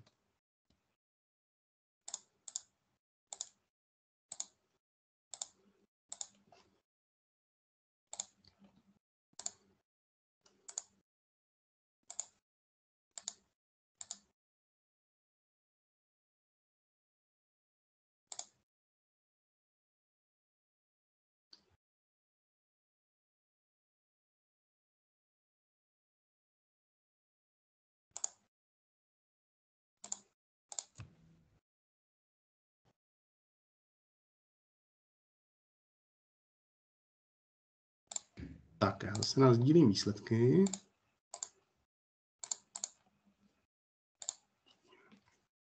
Tak, tady předpokládám, už vidíte. E, asi poměrně nepřekvapivě vyhráli, ještě se nám to trošku hýbe, ale nevyhráli sociální sítě a to tak, že jako skoro 190% že jo, prostě informací o akcích k vám proudí ze sociálních sítí. E, docela zajímavé je to od přátel. E, to je u PR taková záležitost, ke které samozřejmě jako organizace to je pro vás těžké, že jo, propagovat přes, přes přátele někoho jiného, ale, ale to word of mouth prostě je velice, velice časté způsob, jak se o něčem vlastně dozvíte což je, což je, eh, což je vlastně úplně skvělé, že to tak funguje. Internetové stránky pochopitelně, i když ty jsou spíš dneska asi jako referenční, že se na ně dostanete přes sociální sítě, nebo že už si hledáte něco konkrétního, ale asi málo kdo si otevře každý týden stránku skandinávský dům CZ, aby se podíval, co nového tam máme na webu, že to jako dneska už nikdo nedělá, já to taky nedělám, že bych se díval programu, občas se podívám na Národní divadlo, že co hrajou, ale, ale nedívám se na všechny instituce, to, to je pochopitelně ne, neusledovatelné. A překvapuje mě, že i ty tištěné plagáty a letáky ještě tam jako někde jsou, že to není, že to není úplně na nule. Přece jenom, ono i třeba v knihovnách, když se pohybujete, tak ty letáčky, že jenom plagáty si člověk bere, Eh, pochopitelně televize, rozhlas a tištěná média, ty už jsou jako opravdu hodně nízko, protože to eh, televize dneska už mnoho lidí ani nemá rozhlas občas posloucháme, ale asi ne kvůli tomu, abychom se dozvídali o kulturních akcích a tištěná média. A inzerce v tištěných médiích je eh, jedno takové velké téma, eh, velké téma marketingu, protože to stojí nejvíc peněz, ale vlastně to přináší úplně nejmenší efekt. Takže kdybyste si chtěli zaplatit, eh, my jsme měli párkrát reklamu v, nevím, v lidových novinách, třeba nebo v nějakých jako větším denníku a to stojí třeba, nevím, 80 tisíc, že jo, nějaká ta čtvrt stránka tam prostě otisknout. Tehdy to stálo, to bude asi úplně ještě jinde ty částky, ale a to ještě byl nějaký jako kulturní bar barter, že to bylo hrozně, hrozně zlevněné, ale když takhle prostě ta inzerce stojí, já nevím, 300-400 tisíc nějaká stránka, no tak a přiláká vám to pár lidí, tak to je samozřejmě úplně nesmyslné pro, pro kulturní organizace si tam platit. Pokud to není nějaké zase specializované médium, eh, literární, třeba host, že jo, kde víte, že to čtou lidé, kteří eh, na literární akce chodí, tak tam asi to smysl má, taky ty ceny jsou daleko přátelštější. Tak eh, vrátíme tady prezentaci. A tady jenom slide, na kterém bychom chtěli ukázat, že skandinávský dům není jenom skandinávský dům, ale je pochopitelné, že musíme mít spoustu spolupracovníků a těch jsou jako desítky. Eh, je to všechno na našem webu, to tam nebudu vyjmenovávat eh, logicky velvyslanectví a potom ty grantové instituce a pak další spoustu divadla, knihovny, kina a tak dále. A ještě jsem chtěl říct pár slov o knihovně skandinávského domu. Mm, eh, protože to by vás mohlo zajímat jako knihovníky. Ona ta knihovna je poměrně malá, ale hodně specifická. Eh, vznikla tak, že jsme kdysi před těmi 15-16 lety měli nějakou poličku knih a občas nám tam někdo nějaké severské knihy donesl, tak jsme si řekli, proč nezaložit knihovnu, protože žádná vlastně veřejná knihovna, kde by eh, byly dostupné knihy v originálech a v překladech, překladech teda jsou, ale ne úplně eh, nějaký jako kompaktní fond eh, severských literatur, tak neexistuje u nás. Tak jsme se rozhodli, že knihovnu založíme, nikdo o tom nic nevěděl, já jsem to dostal tehdy na starost, tak jsem si musel nastudovat nějaké k tomu zákony a věci, jak se vůbec knihovna zakládá, registruje a tak. Pak jsme se začali pořizovat nějaký knihovní systém a, a prostě bylo to takové jako pionýrské dost období, ale eh, a na tom se prostě asi naučíte nejvíc. Že? Jedna věc je, když jdete na přednášku o tom, jaké jsou knihovní zákony, jak se knihovna zakládá, druhá věc je, že to potom opravdu musíte udělat a musíte si to přečíst a eh, vymyslet nějaký ten knihovní řád a další věci, tak, tak to, to mě třeba osobně dalo opravdu hodně. Eh, dneska už teda o knihovnu se nestarám skandinávského domu, ale jsem rád, že ji máme. Eh, ta knihovna je malinká, eh, má nějakých 6 tisíc knihovních jednotek, což je samozřejmě jako nesmírně směšné číslo, že to srovnáte s jakoukoliv knihovnou jinou, ale ten fond je hodně unikátní. Eh, máme tedy poměrně hodně překladů do češtiny a to knihy vlastně staré i třeba přes 100 let eh, a až po ty nejnovější, která dostáváme často od nakladatelů nebo překladatelů. A máme také knihy v severských jazycích, eh, jak klasiky, tak současnou literaturu, která se k nám dostane. Eh, není to úplně knihovna taková, že bychom si mohli jako moc ovlivňovat to, co v tom fondu bude a mít velké peníze na nákupy. Občas dostaneme třeba od ambasád nějakou podporu, že si můžeme nakoupit nějaké nové knihy. Někdy nám to dají nakladatelé, ale někdy jsou to často právě dary, že jo, nebo pozůstalosti. Ty se k nám dostávají velice často, že lidi nechtějí vyhodit knihy a pak nám dovezou spoustu švédských kuchařek ze 60. let třeba, tak to vyhodíme my, že jo? protože to samozřejmě už jako je celkem k ničemu, abychom schraňovali zase tady ty věci, i ty prostory naše nejsou nafukovací, takže, takže to nemůžeme, ale někdy v těch pozůstalých jsou zajímavé věci zase, které, které se dají vytřídit a do knihovního fondu zařadit. Eh, tady statistiky za rok 2020 eh, jsou hodně ovlivněné tou pandemí, tam samozřejmě ta knihovna byla velkou část roku zavřená, takže ale i tak eh, to není knihovna, do které by chodili prostě stovky lidí denně, těch, hm, ona je otevřená dvakrát týdně a přijde třeba pět lidí za tu, za tu otvírací dobu si něco půjčit nebo vrátit, nebo se na něco zeptat, takže je to spíš, spíš taková jako možnost pro ty, kteří se buď učí severské jazyky, nebo k nám chodí hodně severanů, kteří u nás žijí a chtějí si přečíst prostě něco ve svém rodném jazyce a nemají moc možnosti, protože v městské knihovně v Praze třeba nebo, nebo eh, ani, ani v Brně asi ten fond není zas tak velký, jako ne, že by nebyly žádné knihy v těchto těch jazycích, ale třeba asi v Islandu angličtině zase jako to nebude eh, víc než nějaké jednotky možná knih. No a úplně na závěr eh, spolupráce s knihovnami, eh, která se nabízí, protože, jak jsme říkali, my se zaměřujeme hlavně na literární akce a logickým partnerem literární akce je pochopitelně knihovna. My hodně spolupracujeme s knihovnami v těch městech, ve kterých sídlíme, to znamená s Pražskou městskou knihovnou a v Brně s MZK a s knihovnou Jiřího Mahena. Eh, ale často se dostáváme i do jiných knihoven, kam si nás buď zvou, nebo pomáháme propagovat jejich akce. Eh, a ta spolupráce je několikrého typu.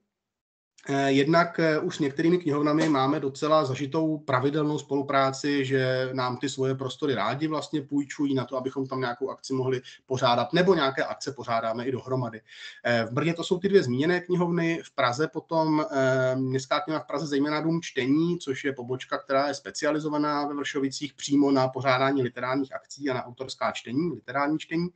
A potom vlastně ten Dům čtení pořádá, nebo Městská knihovna v Praze pořádá v létě na náplavce akce eh, pod železničním mostem na lodi Avoid, eh, takový jako léto prostě na, na řece s literárními akcemi, takže tam často právě spolupracujeme, máme tam nějaký jeden, dva večery vždycky třeba během toho léta. Um, Kromě těch jako pravidelných spoluprací eh, se často nabízejí nějaké literární besedy, na které, eh, na kterých spolupracujeme s knihovnami a to jsou jako už jednotlivé akce, kdy třeba nám přijde nějaký autor nebo naopak knihovna má nějakou akci, na kterou by ocenila, kdyby přišel nějaký překladatel, tak eh, spolu komunikujeme a hm, kooperujeme na těch jednotlivých, jednotlivých akcích. Někdy si nás se stane, že se nás pozve na nějakou přednášku, třeba cestopisnou nebo nějakou jinou, protože sever je poměrně poutavé, eh, poutavá oblast. Eh, ta návštěvnost je většinou velice dobrá, když máte cestovatelskou přednášku v Norsku, tak tam dáte fotku těch fjordů, že a to prostě všechny naláká. Eh, ale Někdy to jsou i dost specifické záležitosti, které ty knihovny zajímají a pokud prostě knihovna chce udělat nějakou přednášku o severu, tak buď skandinávský dům zná, nebo si zadá do Google, že by chtěla nějaké odborníky na to téma a většinou skandinávský dům prostě tam někde bude, takže, takže se na nás obracejí, protože ten kontakt je snadno dohledatelný a my jim případně buď zajistíme sami, nebo samozřejmě poradíme nějaké odborníky na to téma, které je zajímá. Hodně důležitá je spolupráce v oblasti propagace a to jednak akcí navzájem. Eh, Skandinávský dům má za cíl propagovat nejenom vlastní akce, ale vlastně všechny severské akce, které se v České republice pořádají. Takže pokud knihovna sama něco pořádá, nějaké, nějakou besedu s překladatelem, nějaké čtení nebo něco prostě severského, tak my velice rádi zadarmo propagujeme a naopak jsme zase rádi, když třeba eh, se naše akce přes nějaký informační kanál knihovny dostanou do povědomí čtenářů nebo odběratelů. Takže na tom hodně propagujeme a samozřejmě propagace samotné literatury, nejenom akcí, ale jednotlivých knih. To, na to slouží hlavně ty naše Read Nordic profily. Eh, když vyjde nějaká severská kniha nebo nějaká novinka nebo něco zajímavého, tak často to přesdílíme prostě, nebo naše příspěvky sdílí knihovny a naopak prostě je to, je to důležité, i ten kontakt eh, na, na sociálních sítích a online prostoru. A takovou asi poslední záležitostí, kterou nabízíme knihovnám, tak jsou odborné přednášky ne pro veřejnost, ale pro knihovníky. To s kolegyní jsme realizovali před covidem docela často, teď za pandemie žádné nebyly, ale eh, to jsou vlastně přednášky, které pořádají takové ty vzdělávací instituce, každý asi kraj, že jo, má, má nějakou tu knihovnu, která má na starosti vzdělávání knihovníků a oni mají vždycky jednou za čas přednášku o nějaké jazykové oblasti, o tom, co vyšlo za poslední dobu za zajímavé novinky. A tam si nás právě velice často zvou, kde je to taková, někdy je to hodina a půl, někdy je to tři hodiny, jako dvojblok o tom, o severské literatuře, jaké jsou trendy, jak se vyvíjí, jaké vycházejí u nás překlady, co, co prostě si čtenář může, může přečíst. A pro knihovníky je to velice, mm, máme na to velice dobré ohlasy, protože pro ně je to vlastně takový jako zhuštěný seznam toho, co, co vlastně můžou potom doporučovat čtenářům, s čím pracují v těch fondech, co oni znají, ale třeba ještě nečetli, nebo na co naopak by mohli zaměřit pozornost. Takže, takže tady to je taky jedna možnost. Eh, vím, že v MZK jsme byli už několikrát třeba v Brně a, a v dalších knihovnách. Někdy i se to třeba líbí nějaké hodně malé knihovně regionální, která se nás pak pozve do Nového města nad Metují, kde prostě máme přednášku pro pár knihovníků, ale je to, je to příjemné. Ty, ty akce eh, nejenom v, v, v, v centrech v Praze a v Brně, ale právě severská kultura i v regionech je náš velký cíl, ale kapacity samozřejmě nejsou neomezené. Tak a tady bych dal asi ještě prostor Báře, kdyby něco chtěla doplnit a zároveň už tady zobrazím, děkujeme za pozornost a kontakty na nás a pak se může rozvinout diskuze, budete mít nějaké otázky. Eh, mě už vlastně jako nenapadá nic, co by jako Michal neřekl, spíš vždycky u toho online je tak, že člověk nedokáže úplně vyhodnotit, eh, když je ten člověk offline, tak asi cítí třeba, jaké to téma víc rezonuje, že ti lidé se víc chytají, tady to nevíme.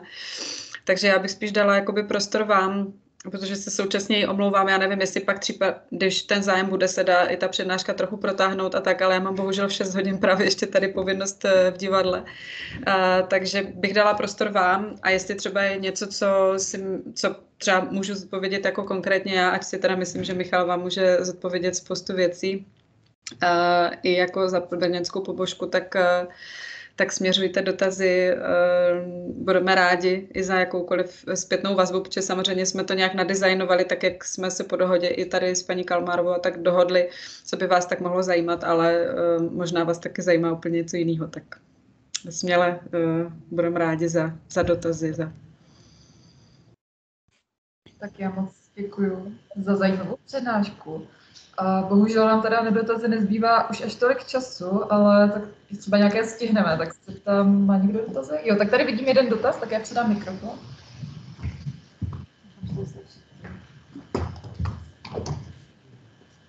Já bych se zeptal, uh, propagujete také, nebo propagovali jste někdy skandinávské školství, protože ono má hodně jako prestiž u nás, tak jste to taky propagovali. Um, přímo školství ne, protože o to se docela zajímá několik dalších institucí. Uh, jednak finské velvyslanectví hodně uh, propaguje finské školství a vím, že dělají i několik konferencí na tady to téma, takže přímo jakoby vzdělávat nějakou přenos přenosu vzdělávacího systému nebo na nějakých přednáškách o školství, to jsme, nebo nějaké jednotlivé akce byly, nějaké, nějaké debaty s experty, ale nebylo to vyloženě jako nějaké hlavní téma něčeho, ale určitě je to, je to téma, na které se i v češtině dá docela narazit a na to sehnat i publikace, které v češtině vyšly, takže, takže ale díky za tip, třeba by to mohlo být i dobré téma nějakého mm, festivalu, nějaké vzdělání na severu, to myslím, že by zaujalo a zase to přitáhlo třeba eh, trošku jiné eh, návštěvníky, než, než na ty naše akce vyloženě kulturní. Děkuji za odpověď. Nějaký další dotaz? Třeba kolegové uh, online, jestli se chtějí na něco zeptat, tak to je možnost. Máte ještě jeden dotaz? Jo, tak, tak ještě jeden. Chci se zeptal, eh, jak je složité vlastně ve tu knihovnu u vás? Eh, jsou nějaké problémy, protože nám říkal vlastně pan doktor Krčál, že ono to je celkem složité mít soukromou knihovnu, ve tom, že chápu, že vlastně, že tam jsou nějaké problémy s tím, že to neplatí Národní knihovna nebo platek, ale že to musíte, tak jak to zajišťujete vlastně z tohoto úhlu pohledu? Uh, já si myslím, že to zase tak složité, ne, nebo nevím teda, jestli to děláme všechno dobře, že jo, my jsme zase jsme se samouci, takže, uh, takže nevím, ale jsme jako soukromá knihovna, která je registrovaná pod národní knihovnou, máme normálně siglu a jsme, máme některou část fondu v, um, v, v, souborném katalogu, takže to jakoby víme, ale vlastně nikdy jsme neměli žádnou zpětnou vazbu od národních nebo někoho, že by, že by něco bylo dalšího potřeba, ale možná, říkám, možná něco jako neděláme dobře, jo, to zase nemůžu úplně, nejsme knihovníci, je to spíš jako nadšenecké, ale eh, no, ale jinak, jinak jako takové ty zákonné věci, které vyplývají ze zákona o registr, pro, pro tu registraci knihoven, to jsme prostě splnili a nic dalšího po nás nikdy nikdo nechtěl, asi tak bych řekl. Což samozřejmě jo, nemusí, být, nemusí být tak, že, že, to, že to je všechno v pořádku. No. Já bych možná doplnila Michala, já mám teda vystudovanou střední knihovnickou, to jsem možná měla říct eh, a eh, vlastně miluju knihovny, je to jako jeden z prostorů, že zrovna když já cestuju všude na sever, tak už se mi všichni smějí, tak vždycky se hlavně ptám, kde tam budu moci do knihovny.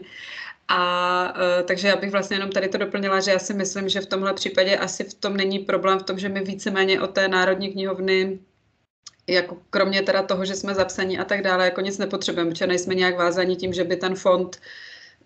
jako vlastně těm lidem nemůžeme nabídnout víc, než to, co jsme schopni jakoby získat. Jo? Nemáme žádnou ambici právě toho, že jo, samozřejmě, že nějaká struktura povinných výtisků a tak dále, to samozřejmě v našem případě vůbec jako nepřichází do úvahy. Takže jako já věřím, že snad nic špatně neděláme, když já už jsem taky dlouho po škole, ale že máme v tomhle tu výhodu, že to je prostě a zároveň na tom nějak nevyděláváme, je to jenom ten vedlejší jakoby příjem, takže. Děkujeme za odpověď. Ještě nějaké další dotazy? Má někdo? Ne, tak eh, já bych se s dovolením chtěla zeptat. Eh, mě teda jednak eh, vlastně hrozně zaujalo to, že teda jste opravdu organizace postavená na dobrovolnících a vlastně mi přijde naprosto fascinující, kolik toho na této bázi zvládáte dělat. Já jsem teda vždycky taky měla za to, že Skandinávský dům je opravdu organizace, která má ty svoje kmenové pracovníky, kteří se tomu věnují na půjde. Takže takže to je uh, vlastně super. A chtěla jsem se zeptat, do jaké míry je to běžné, že podobná organizace je úplně postavená jen na dobrovolnících a vlastně nemá nikoho, kdo by se tomu věnoval na plný úvazek, třeba si nějaké peníze. Máme vlastně třeba v rámci České republiky, máte nějaký přehled, jak na tom jsou vlastně podobné organizace? Um, není to moc běžné, co se týká kultury, uh, si myslím, že tam většinou nějaký zaměstnanec bývá. Uh, je to běžné u jako takových těch zájmových spolků, které i třeba vyvíjí nějakou činnost, uh, často třeba regionální, že to je nějaký spolek, který pořádá akce prostě pro nějaké město, tak tam, tam si myslím, že to, je, že to je docela časté, ale co se týká kultury a zvlášť teda těch zahraničních institutů, tak tam je to jako hodně unikátní i vlastně v rámci světa, to není jenom, není jenom u nás, ale, ale myslím, že kromě toho maďarského škandinávázu opravdu neznám jako žádnou jinou, nejenom severskou instituci, ale, nebo která by se věnovala severu, ale vlastně žádnou jinou instituci, která by, která by tohle, tohle dělala. My jsme mě v tom napadá jenom spíš taková pikantní jako historka, že my jsme právě s Michalem byli uh, díky norským Fordům na cestě uh, na Islandu, kde jsme vlastně byli v jednom z Nordic House, což jsou vlastně, což jakoby způsob vlastně skandinávských center v, v rámci jakoby Evropy. A uh, oni taky, já si myslím, že oni vůbec vlastně jako netušili, uh, kdo jim to tam nakonec přijel, jako a když jsme odprezentovali tu činnost a tak dále. A pro nás to zase svým způsobem jakoby byla taková jakoby velká vzpruha, že jsme si říkali, uh, a taky jsme tam jako sněli o tom, že teda začneme dělat nějaké akce jakoby s nimi v propojení a tak dále, protože oni taky už jsou propojení i virtuálně a ta jazykovost je tam blízká. Samozřejmě, že zatím je to pořád jenom sen, nikdy nevíme. Ale že jakoby se připojuji k tomu, co říkám Michal, že jakoby v tom světě to je uh, jako supportovaný i v rámci toho, že ty státy to považují za vlastně velikou součást jako reprezentace um, prostě té kultury jakoby obecně a ty finance na to prostě jakoby dávají. Takže v tomhle prostě my, my tady jsme jako trošku pozadu, ale zase my jsme i rádi za to, jako myslíme si, že, že minimálně třeba já můžu za sebe říct, že třeba norská ambasáda, s kterou jsem třeba já nejčastěji v kontaktu a tak dále, tak ten jejich jako, zase ten benefit oni vnímají jakoby velký a prostě když třeba byl nový velvyslanec teďka Robert Kvíle, kterému už teď teda bohužel končí období, což je fantastický člověk, skvěle mluví česky, tak eh, prostě při své první návštěvě Brna si speciálně vyžádal setkání jakoby s námi, což byla pro nás třeba jako neuvěřitelná jako událost jo, v rámci vlastně toho jeho programu a ta spolupráce jako funguje velice jako intenzivně a jsme za to vděční. Super, moc děkuji za odpověď. Mě to teda moc mrzí, ale bohužel už nám vypršel čas, tak je škoda, že si o tom nestihneme popovídat víc podrobněji. Nicméně teda doufám, že se vám třeba podařilo nalákat některé z možná z našich našich studentů, buď třeba uh, jako účastníky akcí, nebo třeba jako dobrovolníky. No. Uh, každopádně teda ještě jednou děkuji za přednášku, uh, bylo to moc zajímavé a třeba někdy se potkáme na nějaké akci. Dobře, taky děkujeme za pozvání. Děkujeme za pozvání. Mějte se moc hezky, nashledanou. Nashledanou.